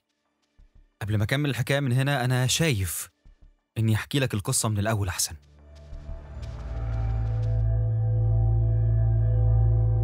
فترة طفولتي كنت عايش في فيلا الحاج مصلح. أمي كانت بتشتغل عاملة نظافة في الفيلا بتاعته. أما والدي كان حارس. حارس غفر وأحيانا سواق للحاج مصلح. فتحت عيني في مكان كبير وواسع جناين وعربيات حفلات وسهر. بس نصيبي من كل ده كان أوضة 40 متر. أوضة جنب جراج فخم فيه خمس عربيات. بس الشهادة لله عمري ما احتجت حاجة إلا لو كان الحاج مصلح بيجيبها لي. كان بيحبني كأن ابنه. أصل نسيت أقول لكم برغم العز اللي الحاج مصلح كان فيه إن ربنا ما رزقهوش بالخلفة. اتجوز مرة والتانية والتالتة والرابعة بس برضه ما خلفش. لحد ما كل الناس أكدت إن العيب في الحاج مصلح نفسه. وهو كان رافض تماما إنه يعترف إن هو ما بيخلفش. ومع تقدمه في السن بقى أكتر عصبية وإلحاح على الخلفة. لأنه برغم الثراء الفاحش اللي هو فيه ده إلا إنه بيشكك في كل اللي حواليه. وطبعا أولهم قرايبه. قرايبه اللي هو دايما شايف إن هما ما يستاهلوش أي شيء وعايزين يورثوه بالحياة. مع الوقت الفيلا بقت متاع لكل الدجالين وكل اللي عايزين يبيعوا الوهم للحاج مصلح. بقت الفيلا مسرح للموالد وحفلات الزار والكفر. أنا فاكر أمي وهي راجعة في ليلة كان جسمها بيتنفض وهي داخلة الأوضة بتاعتنا. شدت البطانية كده وشفايفها كانت بترتجف وبتقول أعوذ بالله من الشيطان الرجيم أعوذ بالله من الشيطان الرجيم. كان سني ساعتها 8 سنين لما شفتها في الحالة دي. واستنيت أبويا يدخل علشان أمي تنفجر فيه وتقول له يا نبوي يا نبوي نمشي. أخويا نمشي من البيت اللي بقى مليان شياطين ده. الراجل ده بيعمل إيه؟ أبويا رد وقال لها اخرسي يا ولية. اخرسي واكتمي ما اسمعش حسك. عايز أنا نروح فين؟ ردت أمي وقالت له أرض الله واسعة يا أخويا. ربك ما بينساش عباده. ده أنا شفت صولية شفتها بضلها بخيالها كانت شبه الست حسنى مرته بس بس عينيها سودة سواد الليل. ما كنتش فاهم يعني إيه أمي شافت صوليا كنتش فاهم إيه, إيه الاسم ده. بس لما كبرت عرفت إن هو مصطلح صعيدي لكيان بيتشكل على هيئة أهل البيت. بيطلقوا على الكيان ده صوليا الفيلا بقت كئيبة ومظلمة. كنت بخاف أخرج بالليل من اللي بشوفه. كنت أحيانا أسمع أصوات ضحك في الجنينة. وأشوف بعناية المرجحة اللي عملها لي الحاج مصلح بتتحرك لوحدها. بس كل ده اتطور لما وصل البيت شخص اسمه النعماني. بيقولوا إن ده راجل زاهد مش هماه الدنيا في حاجة. علشان كده بيعمل الأفعال بتاعته دي. كان عندي 12 سنة وقتها لما شفت الحاج مصلح بيعمل أكبر حفلة زار في تاريخ الفيلا. ناس لابسة جلاليب بيضة ومعاها طبول وزمامير. بيرقصوا بشكل دائري بدماغهم على نغمات غريبة. والحاج مصلح ومراتاته الأربعة بيهزوا أجسامهم جوه الدايرة. لحد ما البوابة بتاعت الفيلا اتفتحت ودخلت عربية. ونزل منها شخص لابس جلباب أسود مغبر. جبهته كان فيها أربع شروط متشققة كده شكلهم غريب. وشفايفه كانت مشققة وعيونه جحظة لبره. الغريب إن كل اللي في حفلة الزار جريوا عليه علشان يبوسوا إيديه. كان منظر غريب جدا وأنا بشوف الحاج مصلح اللي بيتهزله ألف شنب بيوطي هو ومراتاته يبوسوا إيد راجل أخبر زي ده. ساعتها دخل الفيلا وقعد معاهم جوه وأبويا كمان كان في وسطيهم. كان نفسي أعرف هيحصل إيه بس للأسف ما كانش ينفع. استنيت لحد ما أبويا يجي وكنت عارف إني هعرف منه كل حاجة. مش علشان هيقول لي لأ ده عشان أمي هتسأله. أمي اللي أنا عرفت إني ورثت منها الفضول. عملت نفسي نايم علشان أبويا يحكي لها براحته. وفعلا حكى لها. تعرفي يا صفية أنا أول مرة جسمي يتلبش. وأحس إن اللي بيحصل ده حرام. يا وليه خلاهم يستحموا بلبن. مع كل كلمة كانت بتطلع من خشمه كنت بحس إنه ركبني اللهم احفظنا. أنت بتصدقي وتأمني بالله؟ والكعبة المجيدة يا وليه أنا شفت أطياف بترفرف حوالينا. أيوة. ردت أمي عليه وقالت له ما أنا قلت لك يا أخويا وأنت ما صدقتنيش.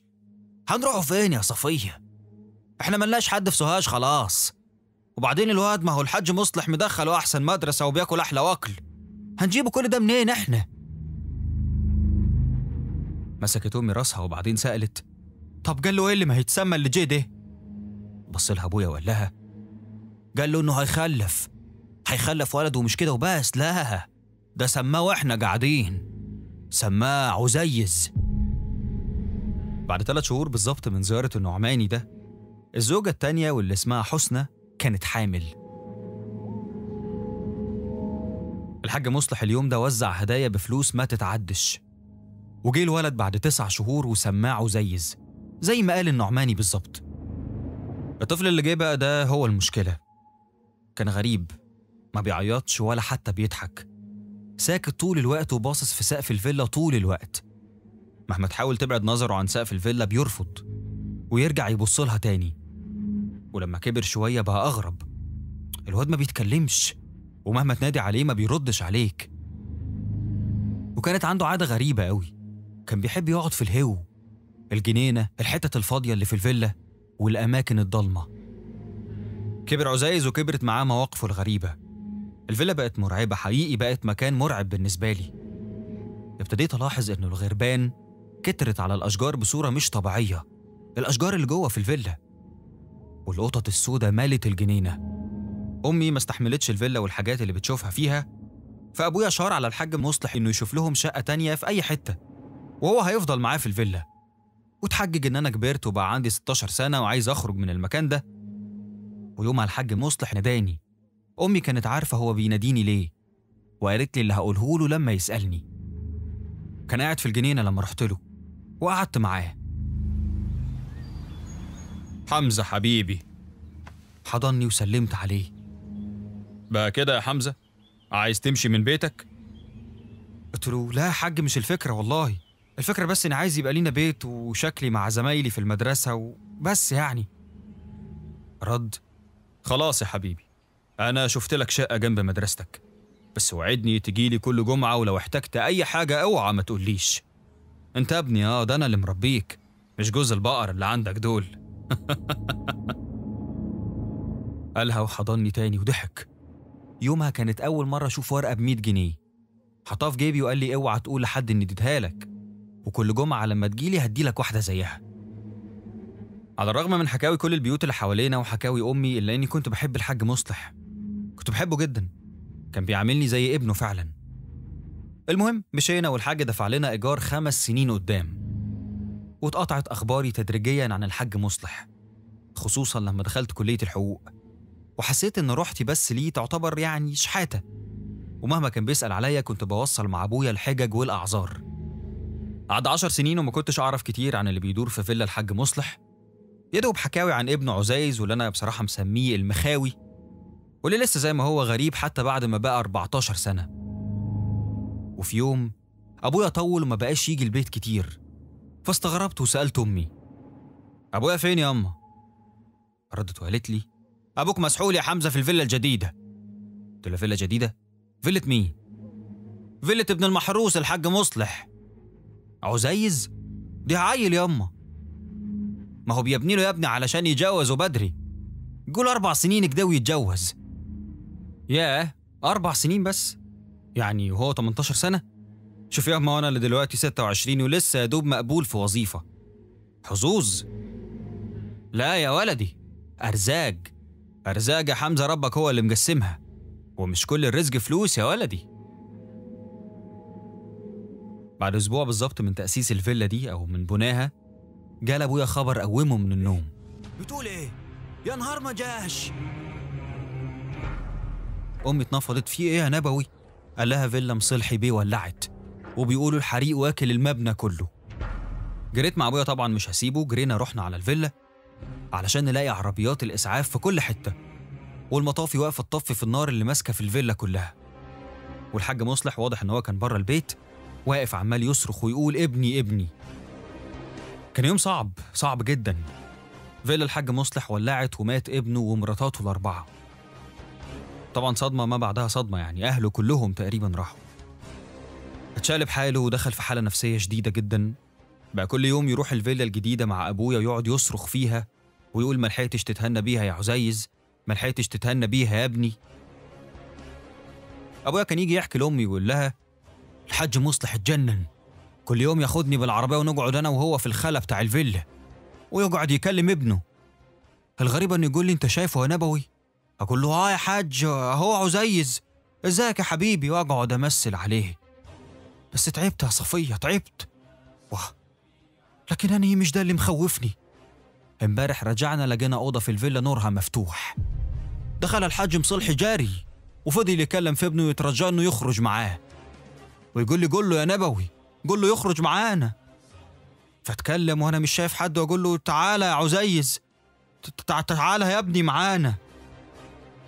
طفينا النور ونزلنا صفية بس وأنا نازل وبدور العربية أقسم بآيات الله نور البلكونة ولع تاني لوحده. بالنسبة لي أنا ما كنتش مهتم أوي الحقيقة خصوصا إن أنا بعدت شوية بعض الشيء عن الحاج مصلح. الحاج مصلح اللي للأسف اتبدل حاله وفقد عقله. وكانت شهور قليلة وتوكل على الله. مات. وعلشان ما كانش ليه حد لا مراتاته ولا عياله اتقسم ورثه على عيلته. ولكن اكتشفت بعد موته إنه كتب باسمي الفيلا اللي كان عاملها لابنه عزيز في وصيته. وكتب إنها لابني اللي ما خلفتوش حمزة النبوي.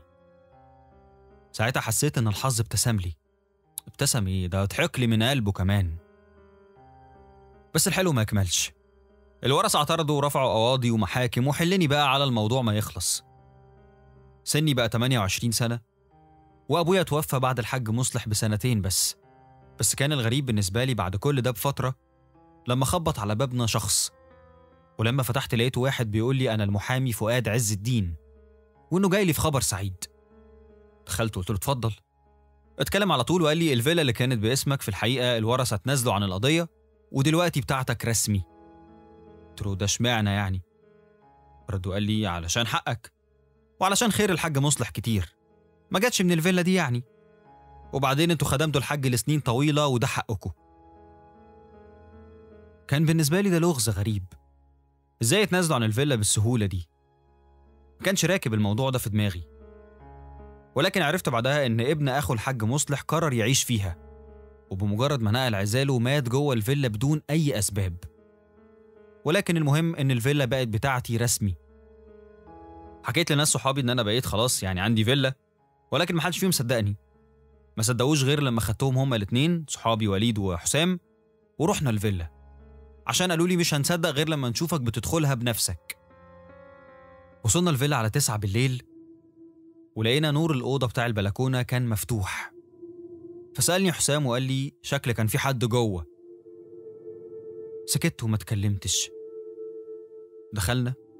الفيلا كانت مبهرة مبهرة لأقصى درجة. وليد اتكلم وقال لي قسما بالله لو بعتها تجيب لك 30 مليون جنيه وقتي. لقيت حسام بيقول له يبيع يا قلة ده يقعد فيها مالك اوعى تبيع قلة وخرجوا وهم مش مصدقين. ولكن وإحنا بنركب العربية بعناية شفت نور الأوضة اللي فيها البلكونة بيفتح. والمرة دي لأ أنا أنا قفلته بإيدي. افتكرت قصة أبويا واللي قالوا عن الفيلا دي لما كان بيروحها مع الحاج مصلح. بس ما نطقتش وخدنا بعضنا ومشينا. مشيت وأنا في بالي ألف تفكير. فضلت أحكي لأمي عن الفيلا وأجرها في الكلام عن قصص أبويا لحد ما قالت لي بص يا حمزة بيعها يا ابني. أنا ما كنتش بصدق أبوك في اللي كان بيقوله بس اصدق الحاجات اللي حصلت في فيلا مصلح. سكت وما ردتش عليها لكن تاني يوم جالي اتصال من وليد قال لي عايزك في طلب كده بس لاخوك. قلت له اتفضل. قال لي ممكن مفتاح الفيلا يوم. قلت له بخصوص إيه يعني؟ قال لي مصلحة كده هقضيها وهرجع لك المفتاح لحد عندك. بصراحة اتحركت وقلت ماشي هديله المفاتيح. اديت له المفاتيح فعلا ولكن عدى يوم والتاني ولقيت وليد ما بيردش على تليفونه. بتصل بيه ما بيردش. فقررت أروح الفيلا في يوم بعد الشغل. كانت الساعة في حدود عشرة بالليل تقريبا. رنيت عليه كتير وبرضه مش بيرد. لما وصلت بصيت على الفيلا لقيت نور الأوضة كان شغال. قلت أكيد هو جوه. جيت أدخل لقيت باب الفيلا كمان مفتوح. آه يا وليدي الكلب؟ فضلت أنادي عليه كتير جوه بس ما ردش عليا. دخلت الأوضة اللي كانت منورة عشان ألاقي منظر خلاني أترعب. وليد معاه واحدة ومشنوقين في نجفة الأوضة. صرخت وفضلت أجري ما بقتش مستوعب. وقعت من على السلم.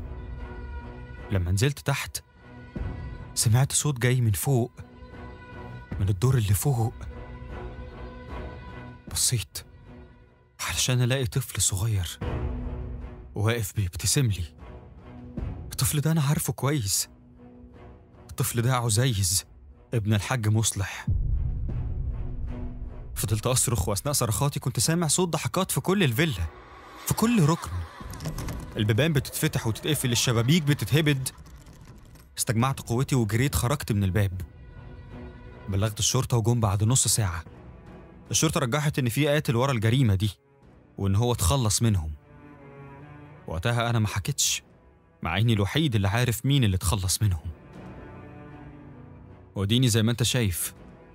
غني بس بالاسم. بمتلك فيلا تسوى 30 مليون جنيه بس مش عارف لا اقعد فيها ولا حتى ابيعها. بس النهارده جالي مشتري للفيلا ورحت اشوفها معاه. اتحججت اني مش عايز ادخل واديته المفتاح بتاعها هو والناس اللي جايين تبعه. وقلت له ان عندي مشوار في الحي هروح اسلم على واحد مريض. وبعد ما خلصوا اتصلوا بيا ورحت لهم. عجبتهم الفيلا ومضينا العقد.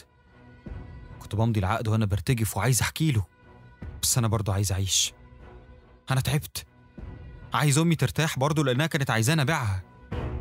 مضيت وأنا ببص على الفيلا. مفيش اختلاف كبير. لسه نور الأوضة مفتوح. بس في حاجة واحدة بس اتغيرت. في خيال طفل صغير بيبص عليا. الطفل ده يبقى عزيز.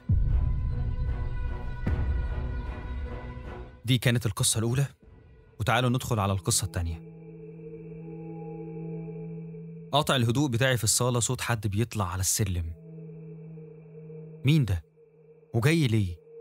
فتحت بسرعة علشان ألاقي عم فوزي معاه شخص غريب وطالعين الدور الرابع. ومجرد ما الفكرة بس خطرت في بالي إن في حد هيسكن فوق اترعشت وسرحت في كل ذكريات الماضي. وفقت على صوت عم فوزي وهو بيقول إزيك يا عصام؟ أعرفك على الأستاذ مصطفى اللي هيسكن في الدور الرابع. قالها وهو بيبص لي بنظرة تهديد إن لازم ما أتكلمش لازم ما أحكيش أي حاجة. هزيت راسي وأنا بقول له أهلا وسهلا. وقفلت الباب بدون ولا كلمة. المفروض إنه عدى أكتر من 15 سنة ومحدش سكن فوق.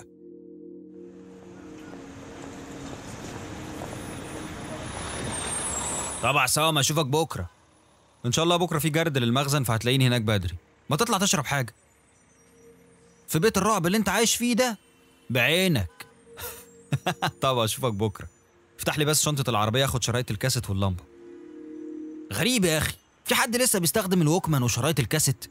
ما تسجل في الموبايل.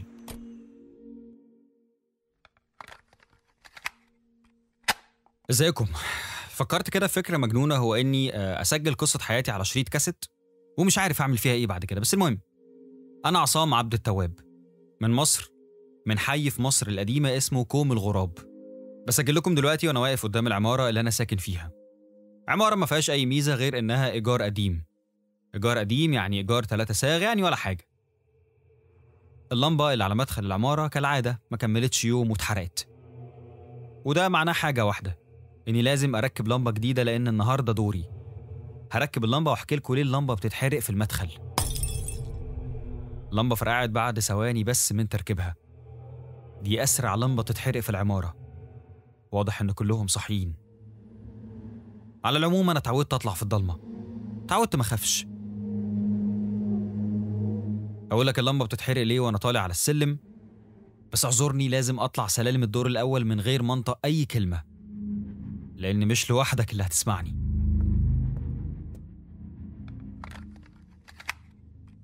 أنا آسف اتأخرت عليك بس دي القاعدة الأولى علشان أدخل الشقة بسلام. أحكي لك دلوقتي.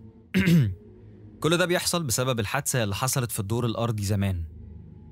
قصة أنا ما عشتهاش ولا أبويا سمع عنها أول ما سكننا هنا. ولكن انتشرت القصة دي بالتدريج بعد الأحداث الغريبة اللي بتحصل. العمارة دي كانت ملك لشخص اسمه ضياء الحسيني. راجل كده في الأربعينات. كان متجوز واحدة ست اسمها نعمة ومخلف منها طفلين. من الحكاوي بيقولوا إن نعمة دي كانت أجمل ست في حي مصر القديمة. من الحسن الأنور للعلواية. كانت كل الرجالة بيتمنوا لها الرضا ترضى بس هي ما اهتمتش غير بضياء. بيقولوا علشان فلوسه. بس الناس كانت مستكترة نعمة على ضياء. وبدأت بعض الناس توقع ما بينهم ويلعبوا في دماغ ضياء بأوهام. بس كل ده ما جابش نتيجة. فالناس اتجهت للسحر وللأعمال. فعلا الحياة بينهم باظت وانتهت بمأساة. ضياء بدأ يخرف في الحي وبدأ يقول كلام ما ينفعش يخرج عن مراته. لحد اليوم اللي حرق فيه نفسه هو وولاده ومراته. والبيت اتهد وخدوا خاله عرفة وبنى بدل البيت عمارة بس الأحداث ما انتهتش. وبدأ بعض السكان يشتكوا إن في حاجات غريبة في البيت. ورجعت القصة تاني في مصر القديمة. كل يوم وانت طالع على السلم بتاع العمارة دي لازم تشوف تلات قطط سود وعينيهم بيضة تماما. يفضلوا باصين لك وانت طالع على السلم. الأمر بدأ يتطور وبدأنا نشوف طفل في منور البيت بيقعد يصرخ ويعيط بالليل. أغلب سكان العمارة مشيوا ولكن فضلت عيلتنا وعيلة الأستاذ لطفي وعيلة الأستاذ مهندس مجدي في الدور التاني والحاج منتصر في الدور الأول. أبويا وأمي توفوا الله يرحمهم وأختي عزة اتجوزت وسافرت. أما أنا فلسه عايش في البيت. والأحداث اتطورت أكتر بكتير من الأول. بقيت أشوفهم كل يوم وأنا راجع في وقت متأخر من الشغل. ومهما أحط لمبة في مدخل العمارة علشان تنور لي لازم تتحرق. عرفت بقى أنا ليه ما حكيتش القصة على السلم؟ وهل تفتكر إن دي بس كل الأحداث اللي في البيت؟ تعالى يا صديقي أخدك في جولة سريعة في العمارة. الدور الأول فيه شقة واحدة. باعها الحاج منتصر لشخص اسمه محمود الزيني. متجوز وعنده أربع أولاد. الدور التاني فيه شقتين عايش في شقة فيهم مدام وفاء حرم الباشمهندس مجدي. والشقة اللي قصادهم قاعد فيها تامر ومراته. الدور التالت فيه شقتين شقة مقفولة بعد ما الأستاذ لطفي توفى وولاده مشيوا وبقوا يجوا يوم الجمعة زيارة. أما الشقة اللي قدامها دي اللي أنا قاعد فيها. الدور الرابع ده بقى اللي أنا جاي أحكي لك عليه.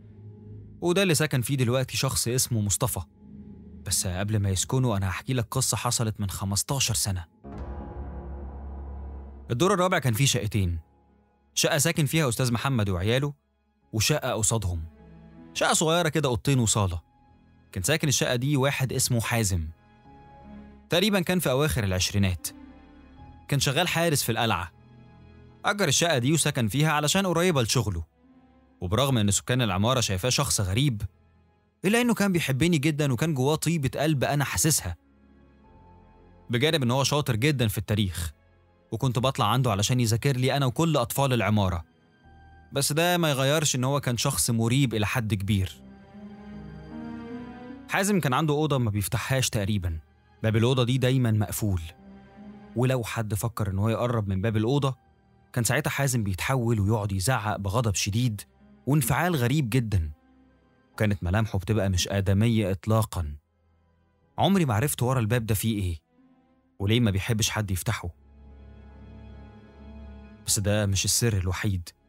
حازم مهما كانت غلاوة الضيف اللي عنده ما ينفعش الضيف ده يفضل لبعد الساعة تسعة بالليل. هل في حاجة بتحصل؟ واشمعنى لحد تسعة بالظبط؟ لحد دلوقتي أنا معرفش في كمان لغز أغرب دايما كنت بسمع حازم وهو بيكلم أشخاص في الشقة. والناس دي للغرابة الشديدة صوتهم بيبقى واضح مع إنه مفيش حد بيبقى دخل العمارة. في أغلب الأوقات حازم كان بيكلم واحدة ست. واحدة ست صوتها كان حلو قوي ولسه بيرن في وداني لحد دلوقتي. وفي يوم على أذان الفجر العمارة كلها صحيت على صوت صراخ. ما كناش عارفين جاي منين بس لما ركزنا لقيناه جاي من شقة حازم. طلعنا الدور الرابع كان حازم بيخبط من جوه على الباب بتاع الشقة بجنون. وهو بيقول افتحولي اكسروا الباب ابوس ايديكوا. ولكن من نور الشقة اللي واضح من ورا الباب حازم ما كانش واقف لوحده.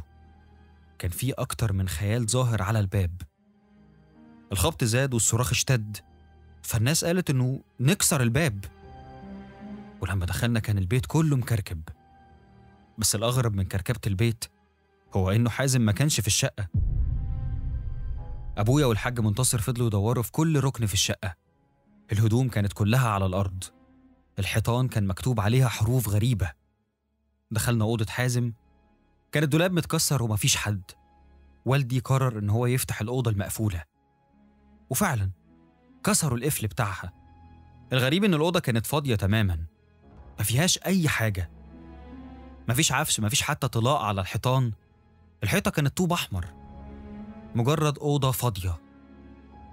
فيهاش غير حاجة واحدة بس. كان كتاب كتاب محطوط في ركن من أركان الأوضة. كتاب فيه صور غريبة وكلام أغرب. فوزي ابن الحاج عرفة صاحب البيت أخذ الكتاب ومن ساعتها ما شفناش حازم تاني. أهله جم سألوا عليه ولكن محدش عرف يجاوب. بس تفتكر الأحداث الغريبة خلصت هنا؟ لا. دي بدأت بعد شهر كامل. لقينا أستاذ محمد وعيلته قرروا يمشوا من البيت. ليه؟ علشان كل يوم بيسمعوا صوت حازم بيتكلم في الشقة مع بنت صوتها جميل جدا. وفعلا مشيوا من البيت. من ساعتها محدش سكن الدور الرابع ده ومحدش من السكان بقى بيطلع الدور ده إلا لو عايز يظبط حاجة في سطح البيت. والأصوات عمرها ما بطلت. من أغرب الحاجات اللي أنا شفتها شخصيا هو إني كنت بظبط سلك الدش اللي جبناه جديد فشفت خيال واقف في شقة حازم في الدور الرابع وكان كأنه بيبص عليا. أعتقد إن أنا حكيت لكم في اليوم الأول مجرد بداية للأحداث اللي شفتها في العمارة اللي أنا ساكن فيها. هحط لكم الكاسيت في منور الحمام وهسيبكم مع الأصوات اللي بسمعها من الشقة اللي فوقي شقة حازم أو شقة مصطفى الساكن الجديد.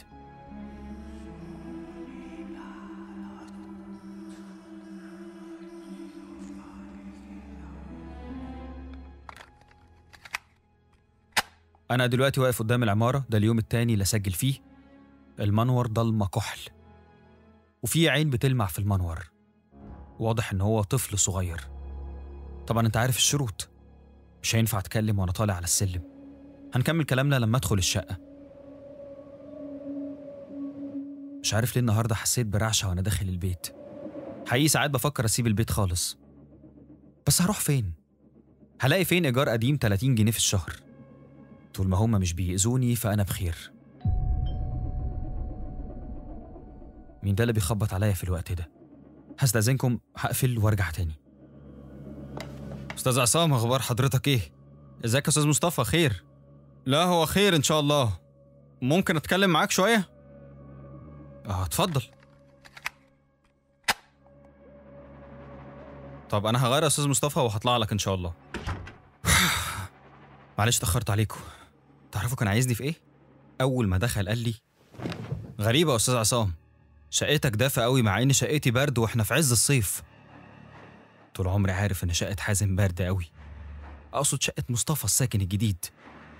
بعد ما قعد قال لي أستاذ عصام أنا حاسس إن أنا اتدبست في ال 2000 جنيه دول. قلت له إشمعنى؟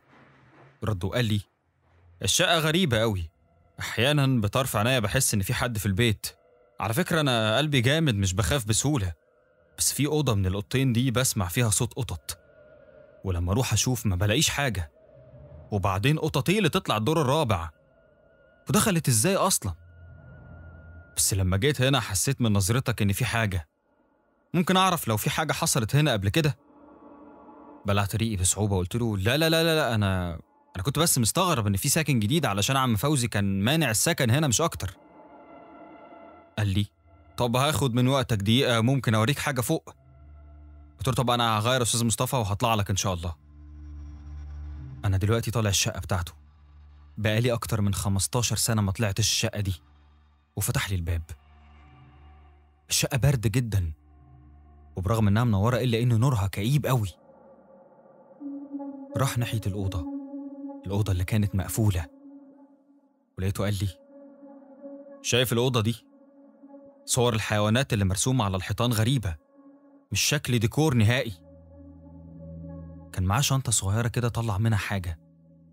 كان كتاب. ده نفس الكتاب اللي شفته من 15 سنة.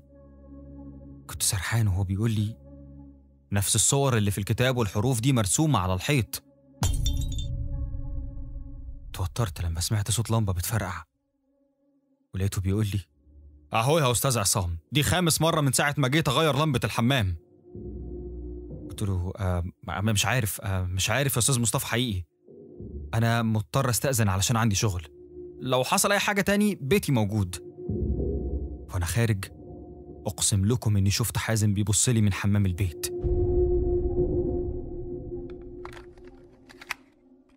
أنا مش جاي لي نوم وعلشان كده بسجل لكم. حاسس بالذنب إني ما قلتش. بس لو قلت احتمال أطرد من الشقة. فوزي مش سهل وهيقول إن الإيجار منتهي بعد وفاة المالك وهيخليني يا إما أمشي يا إما أدفع الإيجار الجديد واللي أكيد مش هيكون 30 جنيه.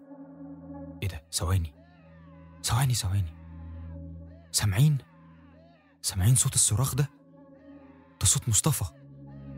تفتكروا هيموت ولا هيختفي زي حازم؟ اتمنى تكون الحلقة عجبتكم. ولو عجبتكم تعملوا like و share وتكتبوا آرائكم تحت في التعليقات. طبعا تشتركوا في القناة لو أنتم مش مشتركين. تفعلوا زر الجرس علشان يوصل لكم كل جديد. تنضموا ل group عائلة الراوي على الفيسبوك علشان تعرفوا ما وراء الكواليس. وبس كده. سلام عليكم.